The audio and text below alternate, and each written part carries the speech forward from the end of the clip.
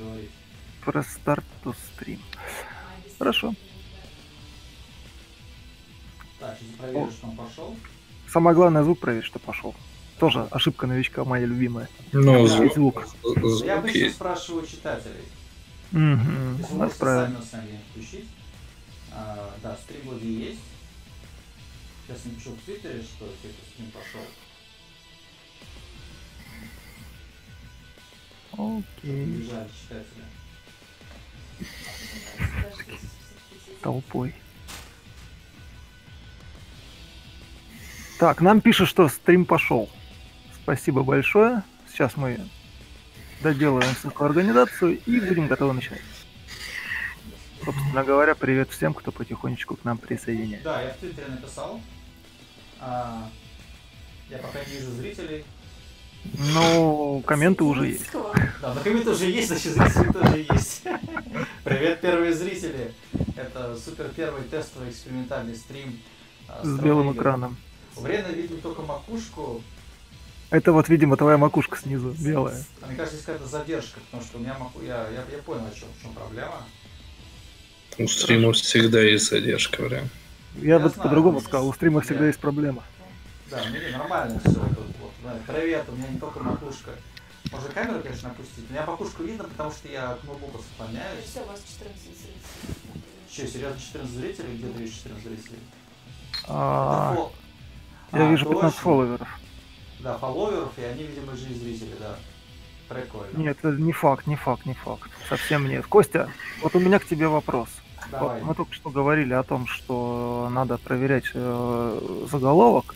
И вот у нас страна игр играет Dead or Alive 6. Это задумано? Да, это нет, на самом деле, потому что здесь Live 6 включено. Ну, Ага, какую-то, же хорошо. игру, какую-то же игру Да-да-да. А можно указывать ток-шоу, это, да, это ближе к теме, потому что это будет... Ты игра, серьезно это- сейчас про Dead or Alive 6, да? Да, а что, нет? Ну, как бы, не знаю, ну, я просто думал, какая игра может быть зрелищная. Кор- а, Которая можно играть одной рукой. О- Ой, ой, Так, поле- стоп, по- стоп, по- стоп, полегче по одной. Останавливайся ты в эфире. Я знаю, что я в эфире. Я хотел найти, на самом деле, И да, Dead, Dead or Alive 6 еще не вышел, к твоему сведению. Серьезно, что ли? Подожди. Тут- Подожди, если бы он не вышел, и у него бы категории на Твиче не было. значит, Подожди, есть А, это пятый, блин, я тупой. Это сейчас я найду, что это. Это на самом деле вот что, это Dead or Alive 5 э, Last Round, да. Блин, сорян. Сейчас поправлю. Ну, вы понимаете, да, очень информативный стрим будет, не верьте ни единому нашему слову. Да, да, вот Last Round сейчас все поправлю, правда, может уже будет поздно править, ну ладно. А, так, вариант тише остальных, сейчас я, ну не знаю, будет не тише. Костя, все еще только макушка. Моя любимая. Что Да. у меня за фотография? Кошмар, где моя аватарка? Слушай, Так, ладно. я, я фотографию хорошо. которую ты прислал. Я туда хорошо. Все, все хорошо, все хорошо. Я вообще не а против если, чего. короче, я макушка... Нет, сейчас ты не макушка, сейчас ты квакушка с двумя сантиметрами под подбородком. Ууу. Сигберн просто. Окей, окей, окей, окей, окей. Так, так, так, так. Все работает, все, всех слышно, все нормально. Проблем нет, я не знаю. Там, Короче, у всех ну, есть водичка, пиво. Остановись, остановись. Причем пиво-то как раз есть, так что все хорошо. Я уже все пиво остановись, все остановитесь. и дальше нет. Так, все, 16 зрителей. На су- Сейчас на я напомню еще в этом самом а, в Телеграме. А Знаете, я вот сейчас увидел, что самое омерзительное из... Наверное, что я увидел на этой неделе. Я вбил в гугле ниндзя, и вместо того, чтобы увидеть ниндзю, мне выдали этого стримера, который Fortnite стримит. Ну, ты потом-. Ты потому что, да, надо, во-первых, вбивать и ниндзяс. Нет, я, про- я просто хотел ниндзи пос- э, А. поискать с картинок, а мне показали стримера. Я, кстати, Мы в ужасное время живем. Я, кстати говоря, думал об этом, потому что действительно сейчас идет э, э, маркетинговый очень большой хайп на всем, и он очень сильно перебивает, скажем так, первоисточники. То есть, я не знаю, какой привести пример, но вот если сейчас выйдет какой-нибудь дурацкий фильм, который никому даже не интересен, типа ну, я не знаю, Power Rangers, там, трансформеров, черепах ниндзя от э, вот этой вот э, конторы Майкла Бэя и так далее, то по факту э, он вытеснит там на, на задворке Гугла вообще весь пласт культурный, который ему предшествовал. То есть все черепашки-ниндзя за все там 20-30 лет своей истории, вот, я накопившие миллиарды там всяких выпусков, фанбаз, фансайтов и так далее, все Я идут тебе- просто на задворке и будут Я тебе, я, тебе, я тебе о чем и говорю, что вот, да, есть такое. Просто весь пласт ниндзя-культуры, и сейчас даже не, даже не на первой странице Гугла. Вся Да, первая да, да. страница Гугла обмазана стримером. Да, именно это. Ну, не знаю, хорошо это или плохо, на самом деле. Это э, называется SEO-оптимизация, на самом деле. Да, да, да. В плане э, технологий и маркетинговых инструментов это, безусловно, замечательно. В плане, наверное, пользователя Гугла это, конечно, катастрофа. Но как бы, когда речь идет о бизнесе... ста- как- Старперного пользователя Гугла. Да нет, не старперного, э, пользователя Гугла, который вбивает конкретный запрос. То есть, если а, пользователь Гугла вбивает запрос ниндзя, то, ну, предположительно, да, в 9 там, или в 7 хотя бы случаях из 10 он хочет что-нибудь про ниндзя, а не про конкретного стримера, э, который к этой теме относится, там, не знаю, тремя буквами ника. Понимаешь? Слушай, может быть, просто старые, и на самом деле мы не понимаем, что людям нужно. И люди не понимают, какие ниндзя, что вы хотите, Да, вот да, стримерам вы- его дайте. Вот. То есть, на самом вы деле, вы сейчас это- вот хороший пример, на самом деле, контра и контра. Ну, для нас контра это ну, контра, блин, Дейди, вот 8 бит, там, не знаю, Да, да, есть такая. херачит. А для Ну, следующего поколения это контра. Костя, Костя, Костя, Костя, я прошу прощения, я сейчас, наверное, тебе, тебя доломаю этой своей репликой, но сам твой пример про контру и контру, он устарел лет на 15, как бы, поэтому ты вдвойне старпер. Итак мы, итак, мы плавно перешли от темы игры как сервис к тому, какие мы старые, короче. Но на самом деле, это, мне кажется, тема, она никуда не денется. И да, мы Это у меня старые, что мы уже не отцы, а мы дедушки. Дедушки, дедушки русской э, журналистики, да, звучит прям прекрасно. А, Наталья играет у нас в Dead or Alive. Я потому Нет, что я понял, играю, что я, я как обещал, играю одной рукой. я просто залипаю на геймплей, потому что я очень люблю Dead or Alive и понимаю, что в таком сонном состоянии а, добро пожаловать во взрослую жизнь, да, как сработает, если еще знает когда. А, я просто ухожу, знаешь, как рекламу иногда э, начинаешь тупить. Вот я также сейчас туплю в Dead or Alive, поэтому оторвите мне, пож- мне, пожалуйста, глаза от э, вот этого вот избиения американского футболиста, а, задайте, наконец, тему. Да, вопрос. Не, давайте Сделайте отсечку вот вообще. как я говорил, так как смотрят зрители, которые, может, не знают вообще, кто мы такие, там, более молодые люди, которые вообще журнал страны игр не видели. Поэтому Которые, нин- которые ниндзю ищут как ниндзю, а не как ниндзю. Да, поэтому Молодец. немножко представимся, что я Константин Говорун, я очень был главным редактором журнала «Страна игр», такого печатного, вот, много лет, 2006 года, и там, с 2001 года работал в нем. Вот, а сейчас я владелец сайта Gimland.ru, на котором выкладываю потихонечку архивы журнала «Страна игр», делаю что-то новое еще там. Вот, и со мной Артем Шорохов. Артем, расскажи. Всем привет. себя. А, Всем привет, мальчики, девочки и все остальные. Рассказать что-нибудь о себе. Так, хорошо. А, Значит, ребят, кто читал журнал «Страна игр», тот, наверное, меня помнит. Я там не под псевдонимом писал. Я занимался а, редактированием, подборкой, там, не знаю, компоновкой практически всех консольных материалов, исключая спецматериалы, которыми занимался Костя и отчасти Наташа. Вот. И, наверное, я был какой-то такой смычкой между дисковым отделом и бумажным отделом, потому что умудрялся и там, и там, и, и нашим, и вашим, поэтому мне вот очень нравятся обе стороны, собственно, такого разного журнала «Страна игры», дискового дополнения к нему. А у кого там барабаны, я не знаю.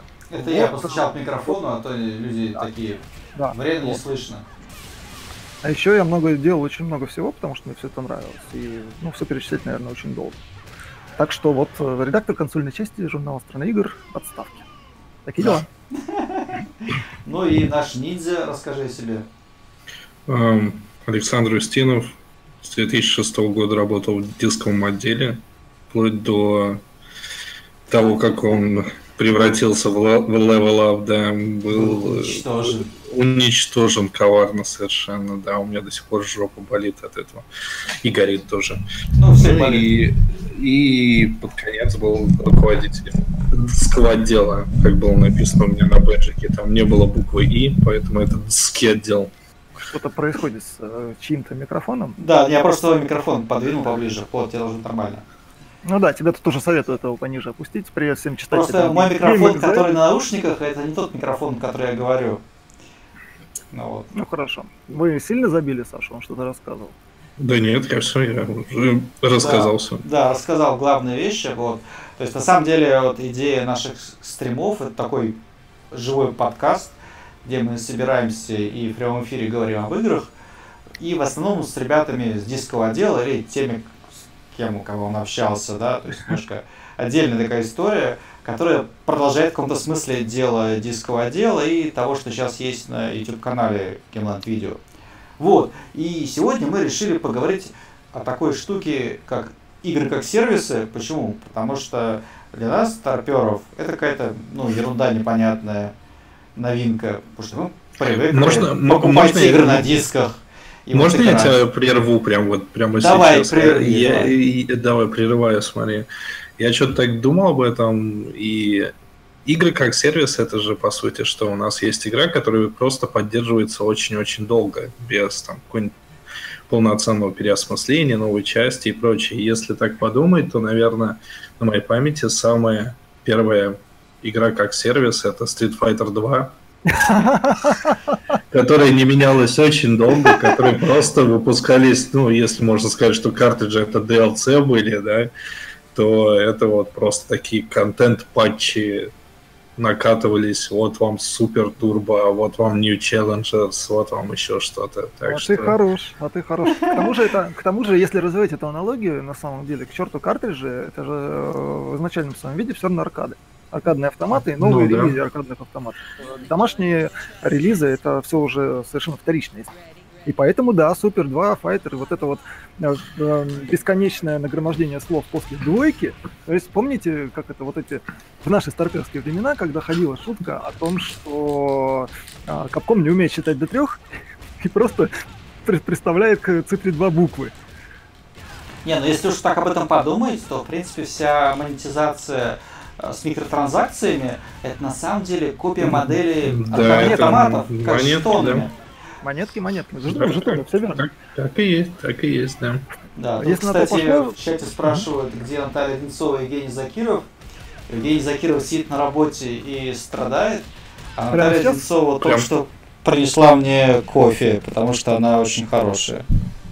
Сейчас я вот я выпью кофе и буду счастлив. Самое время взорвать чат до баянной новостью о том, что вы наконец. Ну да ладно. Ты его не заслужил. Да, Наталья сказала, что я его не заслужил. Так, всего. да, Ну, все слышно. Наташу, да, прекрасно слышно. Да, они говорят, что тебя прекрасно слышно. Так вот, и по сути, ну, на самом деле в игровой индустрии нет ничего нового, если так подумать. все, что вообще существует, можно проследить до каких-то 80-х годов. А, но все-таки игры как сервисы, это вот, ну, во-первых, онлайновая история, а во-вторых, их смысл в том, что ты э, как бы платишь не один раз, а много, по чуть-чуть. Вот на самом деле еще на PlayStation 1 и даже 2 там были игры с каким-то мультиплеером, где ты вот вроде Да. игру купил, а мультиплеер у тебя бесплатный и пожизненно, ну пока там сервера не закроются. И это казалось нормальным. Потом в какой-то момент стали брать деньги за мультиплеер, а потом в какой-то момент стали вот брать деньги вот за всякие сезонные пассы, за DLC, ну и вот классические уже фри там истории. Ну, в этом, в этом же есть э, достаточно много смысла, и в каком-то плане это, наверное, хорошо. Не кидайте меня помидорами, я сейчас объясню. А, дело в том, что э, классическая вот эта вот модель э, распространения, когда ты покупаешь игру, ну, условно говоря, в коробке, вы понимаете, о чем я говорю, одним куском, завершенно. И дополнительные патчи для нее, тогда, когда это стало возможно, это же не дополнительный контент, контент как таковой. Это исправление ошибок. То есть, если мы вспомним мультиплеерные игры, то патч для мультиплеерной игры, для там Quake какого-нибудь, это не был контент-патч. Это всегда был... э, Ну, балансовый патч. за- закрыть какие-то эксплойты, да, там, немножечко поработать с балансом, еще что-то, еще что-то, еще что-то. Но это все-таки довольно быстро заканчивалось, потому что основную работу разработчики переключали, ну, грубо говоря, на сиквел, да, то есть никто долго не поддерживал Quake 2, потому что пилился Quake 3. А, и с Doom такая же история была и так далее. На самом деле, если сейчас подумать, э, то, как делался Doom 2, можно предположить, э, что... ну, Точнее, не предположить, представить, что, в принципе, вся работа по производству Doom 2 могла быть, да и была, в общем-то, проделана на а, всей технической базе Doom 1. То есть э, Doom 2 мог выйти, в общем-то, вот так же, по кусочкам, если бы того сильно хотелось. Вот. А почему, и, собственно, именно поэтому поддержка игры как таковая прекращалась. Если игра была популярна, ее дальше уже поддерживала и допиливала комьюнити. То есть там писала ботов, э, делала свои там самопальные карты и так далее. И если ты, допустим, достаточно серьезно подсел на Quake 2, то рано или поздно ты сделаешь свою собственную карту со своим собственным классом, да, А, ну и вот это вот все. Ты пойдешь там на какие-то BBS, да, я помню еще, что это такое. Ска- скачать- Скачать свежие помню. карты, погонять их там по сетке со своими ребятами и так далее. Вот. А если мы говорим о консолях, например, э, то какая там была история? Я сейчас могу где-то в мелочах напутать, вы не обижайтесь, но у той же самой PlayStation а, был, да и до сих пор, по-моему, даже сохраняется определен- определенный лимит на патчи. То есть о чем речь? А, цифры с потолка сразу говорю. А, у, Play- у П- прости, у PlayStation ли точно есть какой-то лимит и... Да, да. Там типа 40 Подожди, тысяч не- долларов за патч. Не, это, по-моему, не на Xbox ли ли ли ли. Потому что Нет, я нет, вот... нет. Я точно могу сказать за PlayStation, но так или иначе, в принципе, у каждого платформы держателя, по-моему, какая-то история Я, была. я просто вспоминаю вот эту историю с игрой Rez, который, который на Xbox 360 в итоге не вышел финальный патч, потому что за него реально как раз про- просили, по-моему, Microsoft просил 10, что ли, тысяч долларов, и в итоге разработчики просто сказали, а, ну это все. Да, проще его не делать. Ну, были какие-то такие истории, но вот я просто говорю о том, что там где-то как-то знаю. То есть модель примерно такая, примерно. А, там какое-то количество бесплатных патчей тебе платформодержатель а, предоставляет э, в рамках обычного базового контракта. А, причем, если я не ошибаюсь, там был, какой, был какой-то вол, какое-то ограничение на как бы это, так сказать, на время. То есть ты не мог второй патч выпустить там условно через день после первого. Там должно было пройти время. Это таким образом они ну, якобы пытались простимулировать э, разработчиков работать над балансом сразу, а не пилить потом вся- всякий сырой продукт. Я так понимаю, И что просто дополнительно- э, отдел контроля качества платформодержателя должен проверять эти патчи, и они как Да. бы замучаются каждый день и проверять новый патч. Херня какая-то. Ну и деньги поэтому же берут. Я все это на самом деле вожу у себя в голове к а, драконовскому капиталистическому режиму, но можно сказать и так. То есть, во всяком случае, на камеру по пресс-релизам это, конечно же, подается как забота о геймерах, но по факту а, а, для разработчиков патчи а, означали деньги. То есть патчи разработчикам приходилось покупать.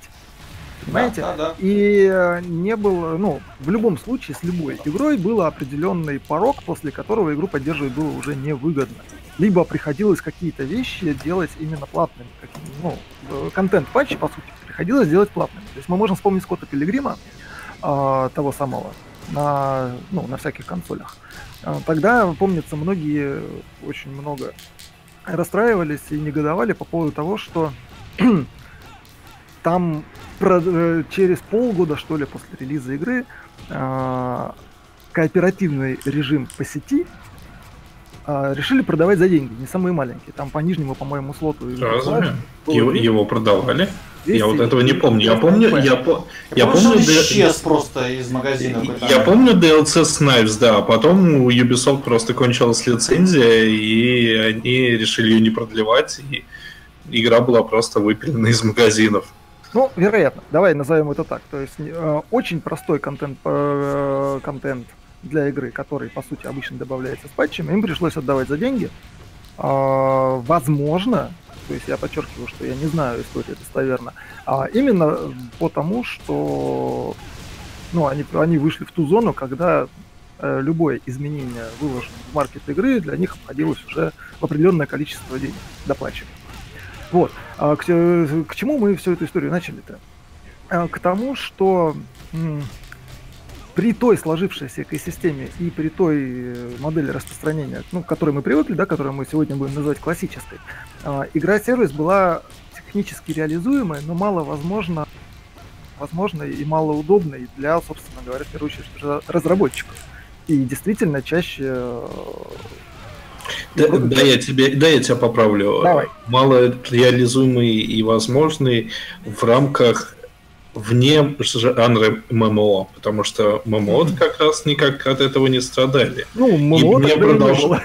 Не, на самом деле, Почему просто инди-разработчику уже бедным сколько разработчику невыгодно. Ну хорошо, да, довольно, довольно много. Но если мы вспомним э, те ММО, с которых все начиналось, ну там они несколько иначе все-таки распространялись. Ну, все равно. Хорошо. Э, э, Игра как сервис именно в таком, наверное, сейчас самом широком понятии. Это все-таки, наверное, если ты захочешь посмотреть, ты смотришь на World of Warcraft, Final Fantasy XIV. То есть это MMO тайтлы. Хорошо. И то, и то, что мы имеем сейчас, это, по сути, перетаскивание этого опыта на уже, так сказать, более традиционные Ну, в нашем натя- понимании игры. на- на- натягивание Ну, да, сервисной именно. совы на жанровый глобус. Да, конечно. Именно. Мгм. Вот, я просто здесь хотел также добавить сразу, чтобы было понятно, э, чуточку, куда мы клоним, а то, что ММО, по крайней мере, в своей типичной модели распространения, это все-таки платные вещи, как правило, были. И даже тот же самый World of Warcraft, э, который вот сейчас получает седьмое дополнение и так далее, каждый контентный кусок ты также покупаешь. А, Ну или и- платишь Да, да, Да. да, но ты все равно, по сути, покупаешь надстройку на уже Настройку? существующую игру. Да, настройкой над живой игрой. Об этом, ну, собственно, и речь. То есть, в принципе, ну, если мы здесь сформулировать все-таки, что такое игры-сервисы, потому что какая-то вот там четкая формулировка таковая, мне кажется, отсутствует. Многие там свое понимают и прочее. Вот, то, наверное, Да, да, нам, нам, идет о нам, том, что... нам, нам тут уже в чате пишут про Destiny, да, про Dest- до Destiny мы еще дойдем, это Да, будет да, моя обязательно, основная да. тема. до всего дойдем. Вот. То, по сути, мы говорим об игре, чаще всего бесплатной, но это не обязательное условие, а, которая живет, которая предоставляет возможность там, своим игрокам а, по чуть-чуть получать э, ну, как, в каком-то смысле новый опыт. То есть мы приходим по вечерам, мы садимся, совершаем, в общем-то, примерно все те же самые действия, что и всегда, в той же самой игре, что и всегда, возможно, даже годами, если она нам нравится.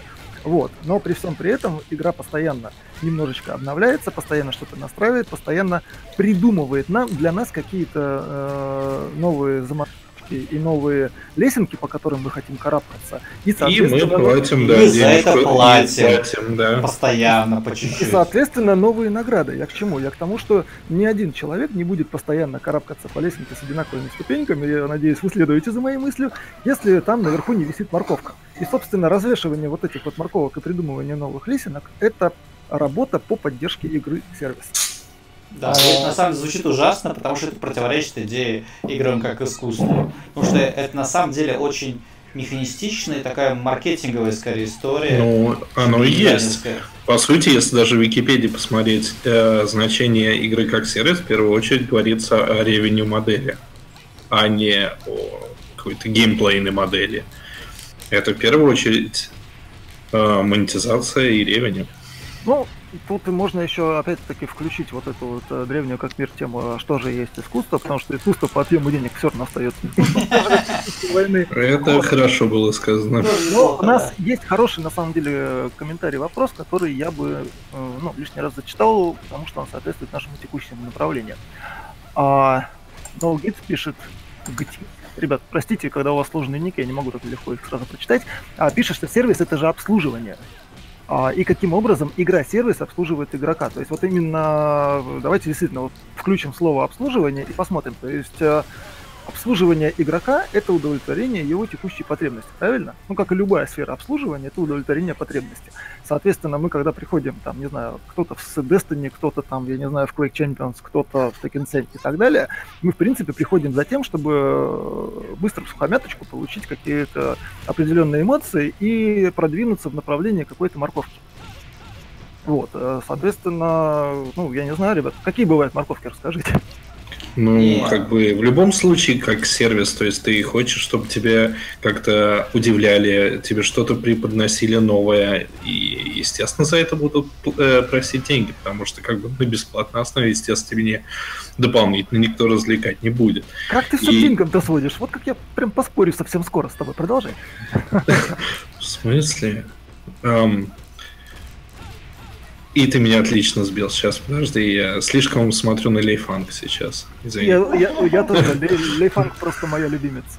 Да, Ну, да. просто, просто перед этим еще была Майша, ну и, и до этого еще и Сара в купальнике, поэтому да, иногда это В тяжело. общем, это, это, это, это Отличный Костя- способ отвлечь людей. И наоборот, Костя, Костя вредный, да. А, смотри, мы говорили о потребностях. Какая потребность э, удовлетворяется игрой сервисом, которую не может удовлетворить просто игра? Это очень хороший на самом деле вопрос. В конечном счете, Ну, в конечном любом счете, случае- смотри, в конечном счете, вот есть игра, да, если она законченный про- э, продукт, ты в нее поиграл, ты в ней все увидел, и она никак не изменится. То есть, ну, ты можешь там э, ради какого-то интереса к ней возвращаться, но в конце концов она все равно тебе надоест, ты там Есть ли достигнешь абсолютно, абсолютно всего достигнешь там и прочее, пройдешь, как я в детстве там уже как не, только не знал, как себя развлечь Tomb Raider 2, там проходил игру без сейвов, с одними пистолетами и прочим.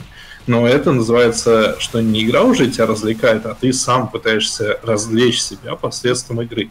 И Да. в данном случае игра как сервис, она все-таки предоставляет именно как игра дополнительные развлечения.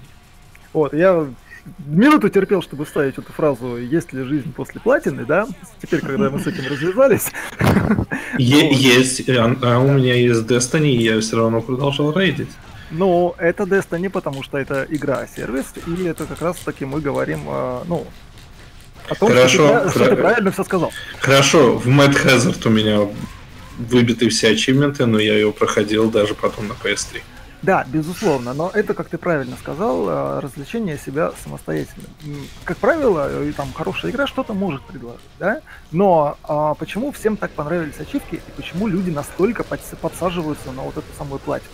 Потому что, ну, безусловно, там и разработчики играют на их компетитивизме и все такое, но по сути это морковка, которую они еще не съели. Если ты не подпрыгнул сто раз еще и не получил там серебряный какой-нибудь приз, то значит как будто бы ты не видел еще всю. Ну, без- Нет без- ощущения без- того, что ты ее присвоил. понимаешь? Безусловно, но это все равно, это игра тебя продолжает э, развлекать, даже если это всего лишь э, банальный набор заданий. Все равно это не ты их придумываешь и куда-то там, не знаю, потом друзьям рассказываешь, о, я вчера прошел Tomb Raider с одним пистолетом. А именно, что эта игра поставила перед тобой цель, ты ее достиг, и можешь даже как-то, ну, не физически, конечно, показать, но хотя бы предъявить какое-то доказательство того, что ты это сделал. Да-да-да. Вот. Но это только, я считаю, одна сторона, потому что ты сейчас идешь от геймплея. Да? Если мы пойдем с другой стороны, а Я именно- могу, я могу вернуться про деньги. Но ты... Про деньги проще. Потому что на самом деле в каком-то смысле игры сервисы это способ просто э, продавать игру не за 50 евро, там не за 70, а, За 150, а за 150 200, да. просто распилив ее на маленькие кусочки, и эти кусочки э, вы- выкатывая по вре- со временем, по чуть-чуть. Ну вот Destiny, кстати, хороший пример, потому что, в принципе, можно было бы сделать полноценную большую игру, продавать ее за се- за 70 евро, там продать там за 20 миллионов копий, ну как бы и все. А можно было выкатить сначала мало контента, потом еще чуть-чуть, еще чуть-чуть, еще чуть-чуть.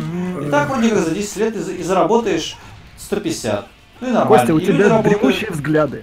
Я сейчас это э, покажу. В Смотри. Destiny в этом плане такой плохой пример, потому Да. что там такой development hell был, что... На самом деле, на самом деле, любой, э, любая игра-сервис как бы, здесь будет не очень хорошим примером, потому что все, что Костя сказал, это все правильно, но это чуть-чуть более раннее поколение, да, это поколение сезон пассов. Вот, а, потому что мы подразумеваем какие-то конечные продукты из серии вот добавили сюжетную линию, вот добавили что-то еще. А сервис, как правило, ну, я не могу сказать, что это формула какая-то, да, но это, как правило, симуляция вечной жизни для игры. Это означает, что у тебя каждый день есть чего снять. там постоянно нарастает вот эта пена, и ты каждый вечер приходишь с ложечкой и эту пену снимаешь. Вот. И именно искусство того, чтобы сделать это для тебя интересным, чтобы не спустить тебя с этого крючка, э, как бы, это и есть показатель жизнеспособности подобной игры. Э, то есть это не то, чтобы кто-то сделал контентный какой-то вот э, кусочек, скормил его или еще что-то дальше. Это, по сути, настройка большой вот этой вот балансной системы, а, которая сама себя держит, и в которой игроки уже какую-то экосистему свою наладить могут, в которую, безусловно, нужно вливать контент, но это можно делать уже очень по-разному. Не вот этими отрубленными кусками торта, которые ты э, А там, дополнительными или, нево- кусками или неволей представил себе, да, а по сути просто открывая краник. То есть это вот это дисперсная такая штука, не разложенная на куски. Короче, открыт краник с пивом, и краник бесконечный, но время от времени нужно платить. Да, теперь об оплате. А, оплата, безусловно, тоже очень по-разному устроена. Я все время хотел вклиниться ваши разговоры, ну, потому что я всегда это хочу. А, каждый раз, когда захотела оплата, потому что, а, ну, как бы так сказать, опять-таки я чувствую какой-то вот этот вот налет э, оплаты за куски, да, то есть э, к- это опять-таки старая вот эта вот вововская, World of модель, когда вышел там большой катаклизм, там большой Battle for Azeroth и так далее, ты принес заплатил деньги и можешь какое-то время расслабиться. Даже Hearthstone до сих пор живет какой- по какой-то вот подобной системе а, с предзаказами новых дополнений. Вот. Но по-хорошему, в принципе, в принципе, там, не знаю, идеальная игра-сервис, это не та, которая тебя а, просит постоянно платить за кусок, там, не знаю, раз в два-три месяца, там, в полгода или еще что-то. А та, которая дает тебе возможность э, в принципе, выжирать все, что ты хочешь, оплатить за инструменты по собственному желанию. Ну, тогда, ты, как си- не- ты сейчас, по сути, если я правильно понимаю, описал Warframe. Если я правильно Может помню, быть, как может. Warframe, Ну, э, я в него честно... Может он free to play, да, и там, по-моему, я вот, сейчас, я, вот, я вот сейчас могу просто э, обмануть, потому что я Warframe про Warframe просто, по сути, читаю новости, но, насколько я знаю, там именно, что контентные апдейты все бесплатные, ты платишь, по сути, внутри там микро- микротранзакции за всякие там косметику, может Давайте быть, я- я расскажу более про- комфортно для себя Да. игрой. Да. Понимаешь, по сути, это покупка э, инструментов UI. Вот. А я, собственно, хотел как раз сказать о том, что очень многие игры-сервисы free-to-play. Очень многие. Есть платные игры-сервисы, но это отголосок той эпохи, когда ты платишь за аддоны. Это, безусловно, все еще сервисы, но это модель, которая ну, в Устарела. большей степени цепляет. Ну, может быть, может быть, она не устарела, но это модель, которая плоть от плоти из прошлого. Вот. Она может быть устарела, может быть, она не до конца умерла, может быть, она там ждет своего расцвета. Я не знаю. Э, Вот. Но Ребятишки, почему- только у меня сейчас стрим как-то в слайд-шоу превратился. Нет, у меня тоже. Слайд-шоу. Ну, это, я не знаю, картинка вообще важна, не важна. Пусть Костя разбирается. Не я знаю, буду... в смысле- Меня будет нести. Попробуй просто обновить окно, такое иногда случается. Причем, Просто я сейчас не вижу, уже, как оно выглядит. Сейчас я включу стрим. вот, о чем я говорю. А Да, хороший точно, слайд-шоу. Сорян. Ну, или, по крайней мере, жизнеспособная игра-сервис, она не будет грубо работать, э, забирая у тебя куски денег за куски контента. Она будет тебе продавать удобство. Удобство может быть очень разное. Это могут быть э, а, какие-то вот э, премиум подписки а-ля World of Tanks, да, которые дают тебе бусты к набираемому опыту и голде. То есть ты делаешь то же самое э, сегодня, что делал вчера. Но если сегодня ты докинул копеечку, ты получаешь а, чуть более ускоренный прогресс. И если ты качаешься, если ты хочешь а, поскорее выкачать вот тот танк, который у тебя следующий в ветке, понимаешь, тебе уже надоело немножечко подгриндивать, и ты понимаешь, что это займет Да, но неделю, ты а сейчас- управиться дня за три. Ты То сейчас ты- говоришь именно про самую жизнеспособную монетизационную модель для free-to-play, но не для buy-to-play. Вот. А buy-to-play сервисы это несколько э, такой гибридный зверек, я, честно, не могу... Он гибридный и еще в очень такой, я должен сказать, зачаточной стадии, потому что, наверное, самый такой, да, удачный пример сейчас это Destiny. Да. Ам, И самый любая такой- ММО. И любая И любой- ММО. ну, Destiny, она квази ММО, но все-таки, да, это сейчас самый такой удачный пример гибридного типа. А вот то, что делает Ubisoft с навязыванием игры как сервис в свои традиционные игры, это в целом довольно очень забавное зрелище, потому что, с одной стороны, мы, есть, мы имеем довольно неплохой пример в виде Ghost Recon Wildlands, и мы имеем совершенно ненужный пример в виде Far Cry 5, потому что Far Cry 5 внезапно тоже игра как сервис, там есть live события, которые вот просто я не понимаю, кто может быть заинтересован в них, потому что там запускаются ивенты типа, а на этой неделе мы жжем коров огнеметом. Да, да. Начали, давайте вперед, ждите коров. Тихо, тихо, Сашка, не, не, не надо вот таких страшных звуков. Микрофон э, твоего уровня, да, превращает это в э, крики умирающих коров. Да, Ну, это вот. понятно. Да, это понятно. задумался. Так и Ну. задумалась. Так что я говорю о том, что в целом мы сейчас находимся в таком, скажем так, переходном а, периоде, когда именно что игры как сервис а, пытаются натянуть на традиционные жанры, и где-то это получается, где-то это нет. Как я уже говорил. Wildlands вполне себе неплохая жизнеспособная среда. а Far Cry 5 просто отвратительная. Вообще А. непонятное Но в зачем. любом случае, оно и то, и другое Ubisoft. Я, Йогур, я вижу твой коммент, про Pay мы, наверное, поговорим еще. Вот, но я к Сашке хочу добавить э, такую штуку. А мы сейчас говорили как раз о том, что есть модели, цепляющиеся за прошлое, и, э, в принципе, оба твоих примера, они релевантны именно этой модели, цепляющейся за прошлое. Потому что особенно, особенно в Ubisoft, ну и вообще во всех крупных э, э, издателях, которые привыкли к коробочной модели, э, сейчас э, в последние годы идет очень сильная перестройка под сервис. Не все умеют это делать хорошо. Не всем играм это идет. Понимаешь? Не везде это начали с самого начала правильно делать, а потом там было уже поздно Ну, нормально без- внедрять. без- без- безусловно. Поэтому мы имеем мутантов. А, и в этом смысле я могу как раз привести в пример файтинги, потому что файтинги фа- изначально Файтинг это как самый классический. Любой на самом деле компетитив а, жанр, строго компетитив, он, естественно, лучше ложится под игры как сервис. Это файтинги, это тот же Counter-Strike Go, который по сути Ну, кстати, является- вот э, это, тот, это тот же For Honor. Сейчас, очереди. Да, For- тот же For Honor Ubisoftовский, тот же Rainbow Six Siege. Они именно что competitive only, мультиплеер и игры как сервис, и они отлично Почти. на этом живут. И почти все они снова Ubisoft. Я хочу сказать, что у Ubisoft есть своя глобальная стратегия. Я только, две- я, И- только, я, только, я только две назвал. Это For Honor и Siege. До этого был Counter-Strike Go и, До этого, и, было- и файтинги. до этого Опять-таки. был еще Far Cry и так далее. Файтинг я чуть-чуть выделил. А, сейчас, наверное, глубоко не полезу, если не спросите, но вброшу такую штуку. А, ребят, файтинги это действительно тот самый жанр, который чуть ли не у истоков э, стоял того удовольствия, которое приносит игра-сервис, да, ну по понятным причинам, да, это репетитивный геймплей с короткими сессиями, которые э, вот это вот э, easy to start, э, hard to win, и вот, это, вот эти вот все вещи.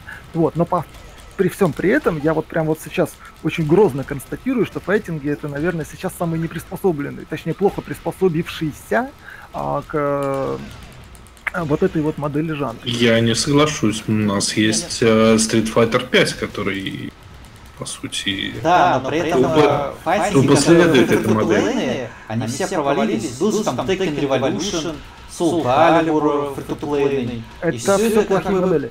Это, ска- это, модели. это скорее плохие файтинги были. Именно что, Да, потому что там пытались на нормальный файтинг прикрутить фри-то-плейные механики, и они отвратительно работали. Это именно что эти игры не были такими прям отвратительными, потому что Soul Calibur фри-то-плейный, он строился, то ли на четвер- на четвертой части. Рев- Revolution строился на какой, получается, на шестой, да?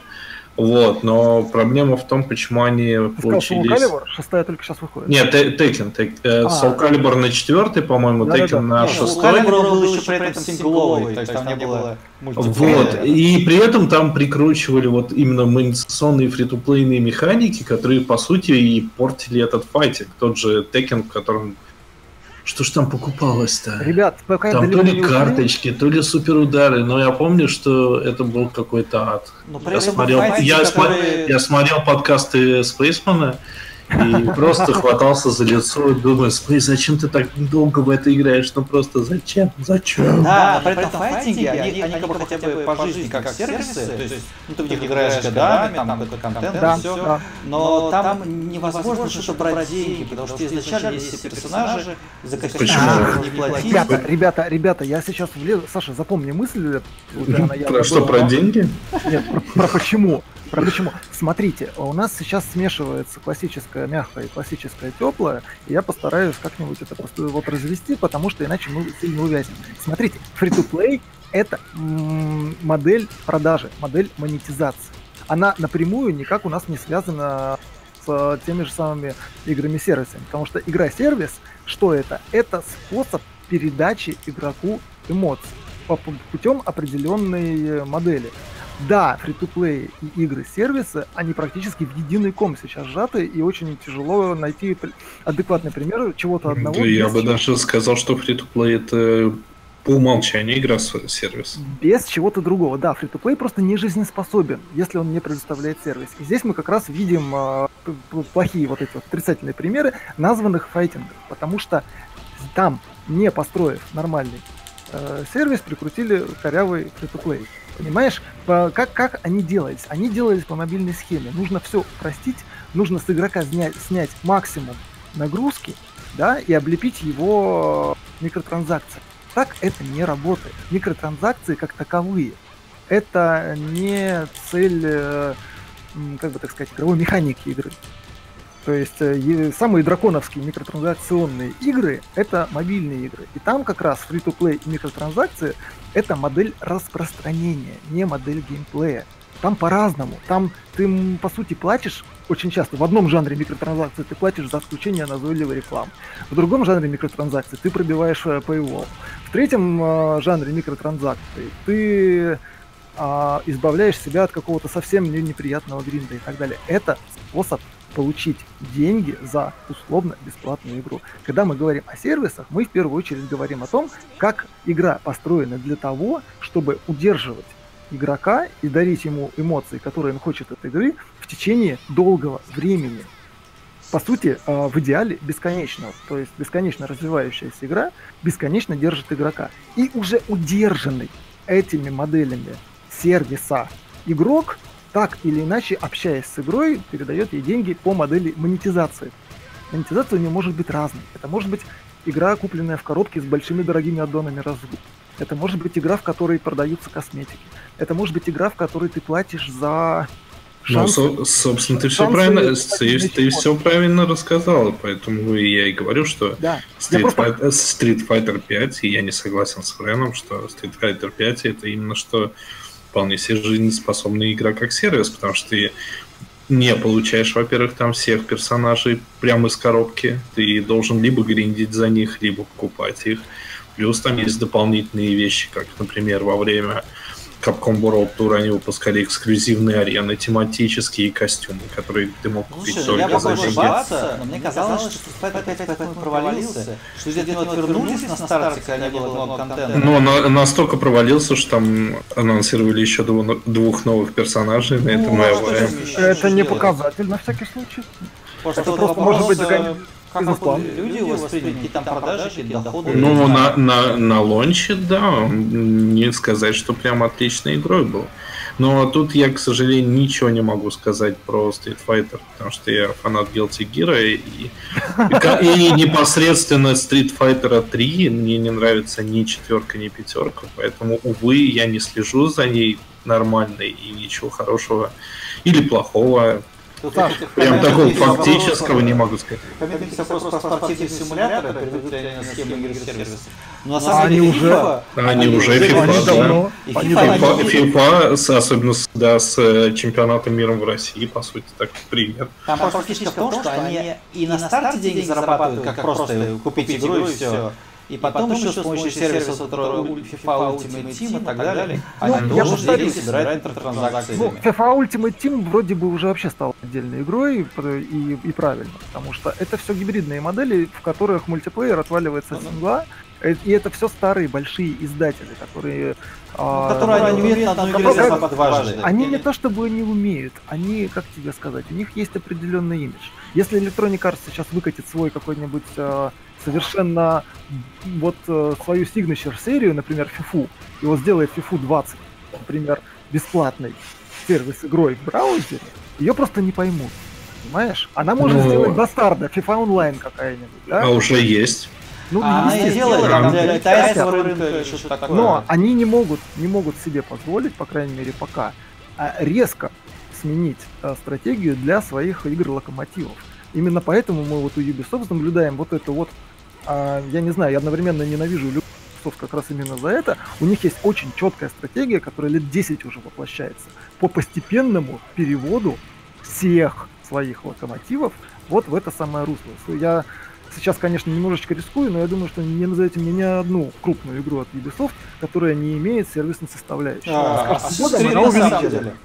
деле. Разве? Assassin's Creed, наоборот, они лишаются мультиплеера, там в какой-то игре они появились, потом они убрали. Ну да, И да, там согласен. нет ничего, вот, э, ну, что требовало реально. А, Я прошел игру, все.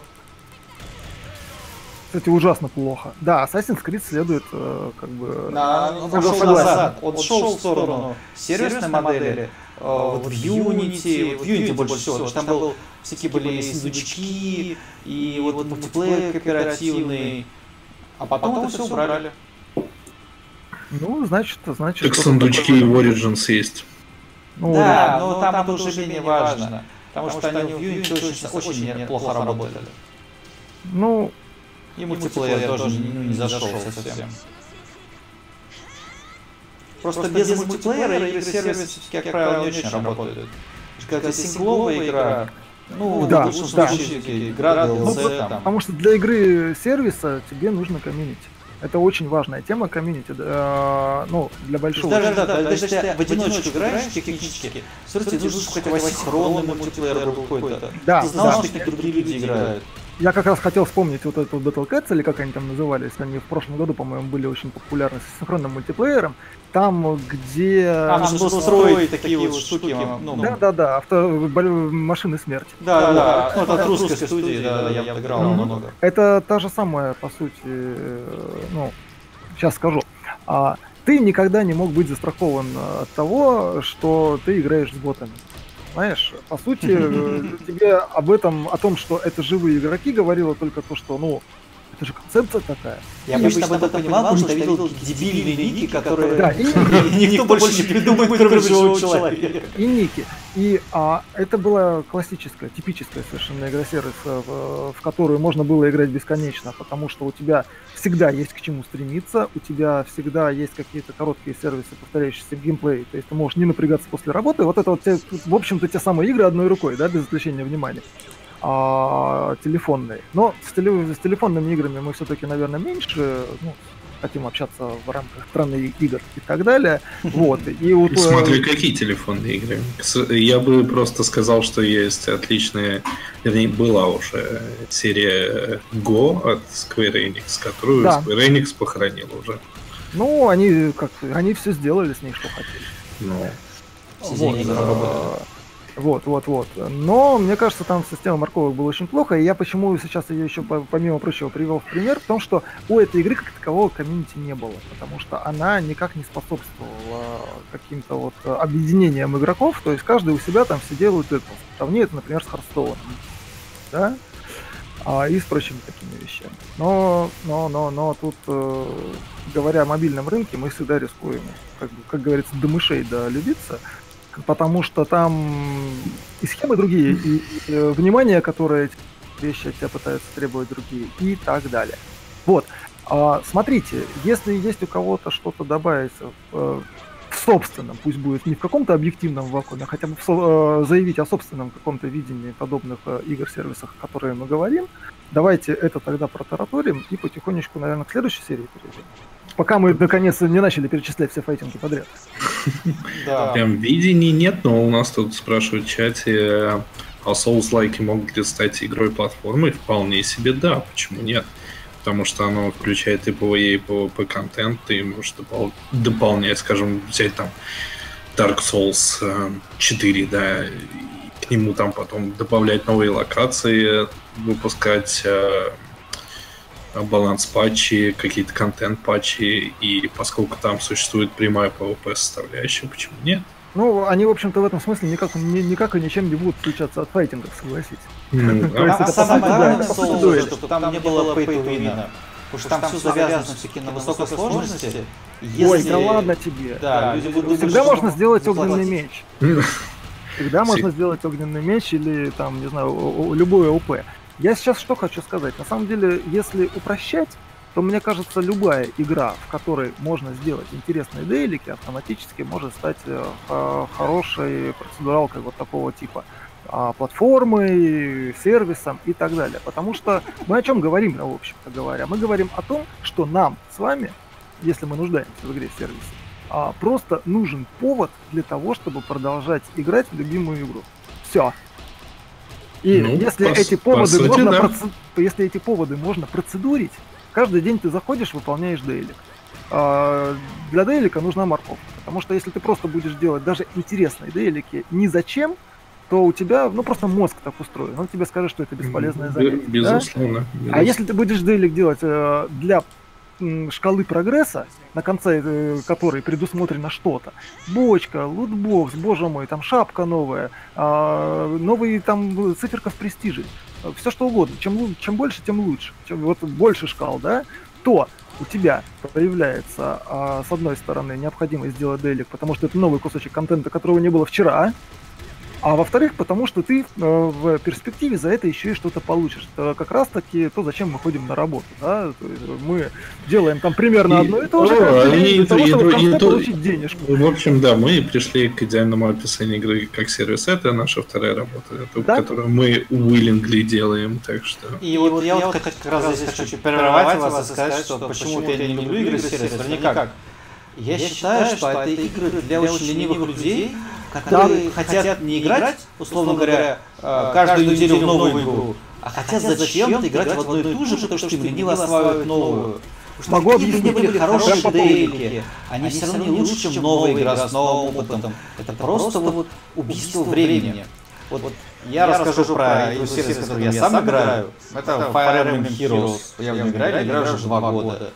Почему? Потому что она мобильная, она делает нормально, и в нее можно играть вот маленькими порциями где угодно. Есть я стою там в очереди какой-нибудь, там, в магазине, не знаю, на кассе, и включаю, что-нибудь там играю в нее. Но мне в голову не придет в нее не играть дома, когда есть доступ к нормальным играм. Это такая вот способ заполнить лакуны вот в жизни, когда вообще нечего делать, можно поиграть в игру сервис. Но Ну, есть также люди, вот почитать. больше нечего реально делать вот, и в нормальной ситуации. Они зачем-то играют в одно и то же. Вот я это не могу понять. И вторая игра которая мне нравится, это World of Warships. А, Почему? Не потому что вот, ну, она хорошая игра, но я в ней принципиально ни за что не плачу. Я считаю, что вот разработчики игры это дебилы, которые не хотят моих денег. И вот Саша? я, я просто А ну, что, Саша? там все дела. Просто играй в нее, ну, бесплатная игра, прикольно. То есть, ну, я не играю в нее очень часто, но по чуть-чуть. Мне Ты не, купи- ты не купил коллекцию High School Fleet А Вообще Animation? ничего, Девочка. более того, я хотел, Я- ну, мне я разочарован тебе, я разочарован. я специально не активировал никакие журналистские аккаунты, просто честно накачался с нуля, потому что хорошая игра, а деньги не берет. Там что-то есть какие-то магазины, да пошли все нафиг, не так нормально. Вот, Так, в этом Костя, смысле мне Костя. Костя, так ты наконец ну, сформулировал, только у тебя как-то это получилось очень гаденько. А, Смотри. а, Э, Да, Брэм, как всегда, набросил кликбейт на- А, смотри, смотри, смотри. А, ну, сразу с конца начнем, да? Потому что у тебя еще к тому же микрофон отрубился. Или это у меня отрубился? Не, у меня все работает. Ну, все А, нормально. Все, нормально. Я просто вижу с задержкой Костю сейчас на экране, как он э, двигает губами, а звука не производит. Это Вот. потому что задержка, чувак. Ну, я и говорю с задержкой. А, вот, то есть э, о чем речь? Я же это все пытаюсь вталдычить, э, что э, оставьте вы свои вот эти вот стыдно, да, оставьте вы свои, это с меня хотят денег. Про стыдно и хотят денег, ой, я сейчас могу рассказать. Про, про, Destiny, это да, опять деньги. Вниз, окей, хорошо. Крепись, сожми Я- кулак и, и не я- забудь, зачем ждал. Да, я сейчас, вы пока разговариваете, я сейчас вернусь. Хорошо. А, вот. Черт с ним, понимаете, денег от нас хотят все. Ну, то есть, серьезно, производители книг, игр, там, э, фильмов, игрушек, чего угодно, даже воздуха. А, и как именно они это хотят, ну это их дело, это наш с ним договор. Мы платим там, когда хотим, не платим, не платим, не платим точнее, когда не хотим, это не суть. Суть зачем мы, суть в том, зачем мы вообще обращаемся к играм. А в данном случае мы, я 20 раз повторюсь, в, в конечном счете за эмоции. Как именно мы эти эмоции получаем и как нажатие кнопочек в них э, превращается, об этом, в принципе, вся игровая журналистика, наверное, это не так важно. Вот. Но суть-то в том, что м, мы хотим получить определенный опыт, определенные действия. И здесь у нас в жизни и у нас в психике есть совершенно разные для этого уголки. То есть вот я какой пример обычно людям всегда привожу, что вот у меня бывают недели, когда мне хочется только читать, у меня бывают недели, когда мне хочется только там, не знаю, смотреть э, фильмы, аниме или еще что-то, у меня бывают недели, когда я хочу играть. И вот эти недели, их тоже же можно дробить. То есть когда-то тебе хочется вот пресловутый свиной хрящик, а когда-то шоколадку. А когда-то ты приходишь с работы, весь убитый, угашенный, как бы и так далее, тебе не хочется нового опыта, потому что ты сейчас не способен его нормально переварить. Начать- Э, начать полностью, новую большую- пол- полностью поддерживаю. Я сейчас просто Да. приведу пример, что я вот до сих пор не могу допройти игру Нио, потому что именно потому что я прихожу с работы, я понимаю, что я слишком уставший, чтобы играть Souls-like игру, которая потребует от меня очень много а, Ну, В усилий. общем-то, внимание и сил, да, конечно. Да, Но мы приходим к тому, что все игровые сервисы, они интересны взрослым, уставшим, которым скучно, только ничего А, а, это у меня, у меня не, да, это следствие, но, скажем так, у меня и мой, э, моего совершенно с Destiny несколько другая история, но мы до нее дойдем. вот. Да. А, Потому это что в данном случае я согласен на самом деле и с Тёмой, и с Реном. Ну, понятно, Ладно, потому что мы дойдем. говорим. Вот, а, по, сути, у нас просто у каждого в жизни есть уголок, у кого-то больше, у кого-то меньше, кто-то его лучше осознает, кто-то там пытается от него убежать и так далее, в котором нам хочется чего-то быстро растворимого. В общем-то. А, Юби, мы с одной стороны поговорили о том, что нам в любимой игре просто хочется оставаться подольше, и нам для этого нужен, ну, в общем-то, просто повод, да? И если разработчики этот повод предоставляют тебе каждый день, а, а игра настолько хороша и настолько тебе нравится, пайп, пайп мне, платит, мне- могу- мне очень понравился э, коммент Ноктиса про новый опыт в новый Assassin's Creed. Слишком тяжело, необычно. Не, ну, Assassin's Creed все-таки там каждый раз хотя бы разный сеттинг, там, не знаю, страны, новая страна. Да, рассказывай. Не, ну но как, как, Assassin's как, как, как игра музей, как, э, игра диорама, Assassin's Creed отличная игра, но как. Я сейчас более И- болезненную вещь скажу. А, Assassin's Creed, как и любая сэндбокс игра от э, Ubisoft, э, и во-вторых, как любая, в общем-то, хорошая сэндбокс игра, она тоже в каком-то смысле сервис. Просто это сервис, умятый внутрь э, условно. Ну, не Sandbox, То она есть- Open World. Sandbox Ну, это несколько другое. Хорошо, пусть будет open world. То есть я просто чуть более близкий себе пример приведу, потому что я не человек Assassin's Creed и не человек GTA. Вот. а Это, например, тот же самый Shadow of War, который Средиземье. В чем идея? Идея в том, что ты можешь бежать по сюжету, а, ну, как в любом open world хорошем сюжетном, да, и наконец ее пройти. Ну, а можешь делать всякое. И вот ну- это делать всякое, которое люди реально могут делать годами. Я вот Да, сейчас на три года проходил да, Ведьмака. Ну, Sh- Shadow War, да, она очень близко к игре как сервис, особенно учитывая, Да. что у тебя там, кажется, отбирают крепости и все такое. То есть тебе надо Ну, не только по сюжету не идти, но И там Там есть и- боксы с орками, так что нормально. Ну, уже нет, уже нет. уже нет, да, они, да, были, убрали потом. Я Ну, помню, критиковали. Боксы Ну, потому что там э, лучший, по-моему, про лутбокс в Shadow of War был э, рецензия на Стиме, что типа чувак такой купил за много денег фиолетовый лутбокс, а попался фиолетовый орк. э, А он же- предал. Да, на крепость напали, орк тебя предал, зарубил и ушел, короче. Отлично, я заплатил деньги. Да, кстати, Кстати, хорошие игры с, проце- с процедурными какими-то алгоритмами, они именно об этом. О том, чтобы у тебя появлялись какие-то прикольные истории. То есть это на самом деле очень дорогого стоит. Собственно, все процедуралки существуют ради этого. Вот. Но в целом я говорю о том, что игра подобного рода, она позволяет себе жить. Просто в э, сингловой игре она, условно говоря, все равно конечная. Рано или поздно ты выполнишь все сайт-квесты, и останутся именно м, вот трушно э, сервисные штуки, которые обновляются, да, там неважно, уже они по алгоритму или э, вливаниями извне по онлайн. Но суть в том, что если они все равно будут бесконечными, то да, это то, о чем мы говорим. А вопрос, насколько это интересно насколько это увлекает именно, это вопрос уже реализации, правильно? Вот. А, Но так-то да. И в этом плане, если у тебя та же самая пресловутая Shadow of War уже в руках, если ты можешь в нее играть на автомате, если ты прекрасно знаешь, как все работает, и вопрос не в том, чтобы познавать игру, а в том, чтобы хорошо, красиво в нее играть, не напрягаясь, как, в общем-то, там, не знаю, условно говоря, люди играют в файтинг, да? То есть э, человек, который играет в файтинги каждый вечер, он умеет играть в файтинг.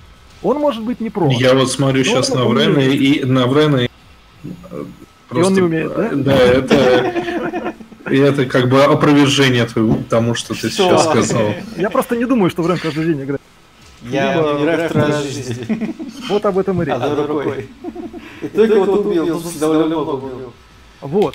А поэтому, ну, то есть, вот э, тот самый пласт, про который я уже восьмой раз завожу э, речь, это та возможность жить в игре и каждый день а, в нее снова заходить, это то, что нам, собственно, дарят сервисы, и то, то, чего нам приходилось самим из игры выцарапывать каждый день.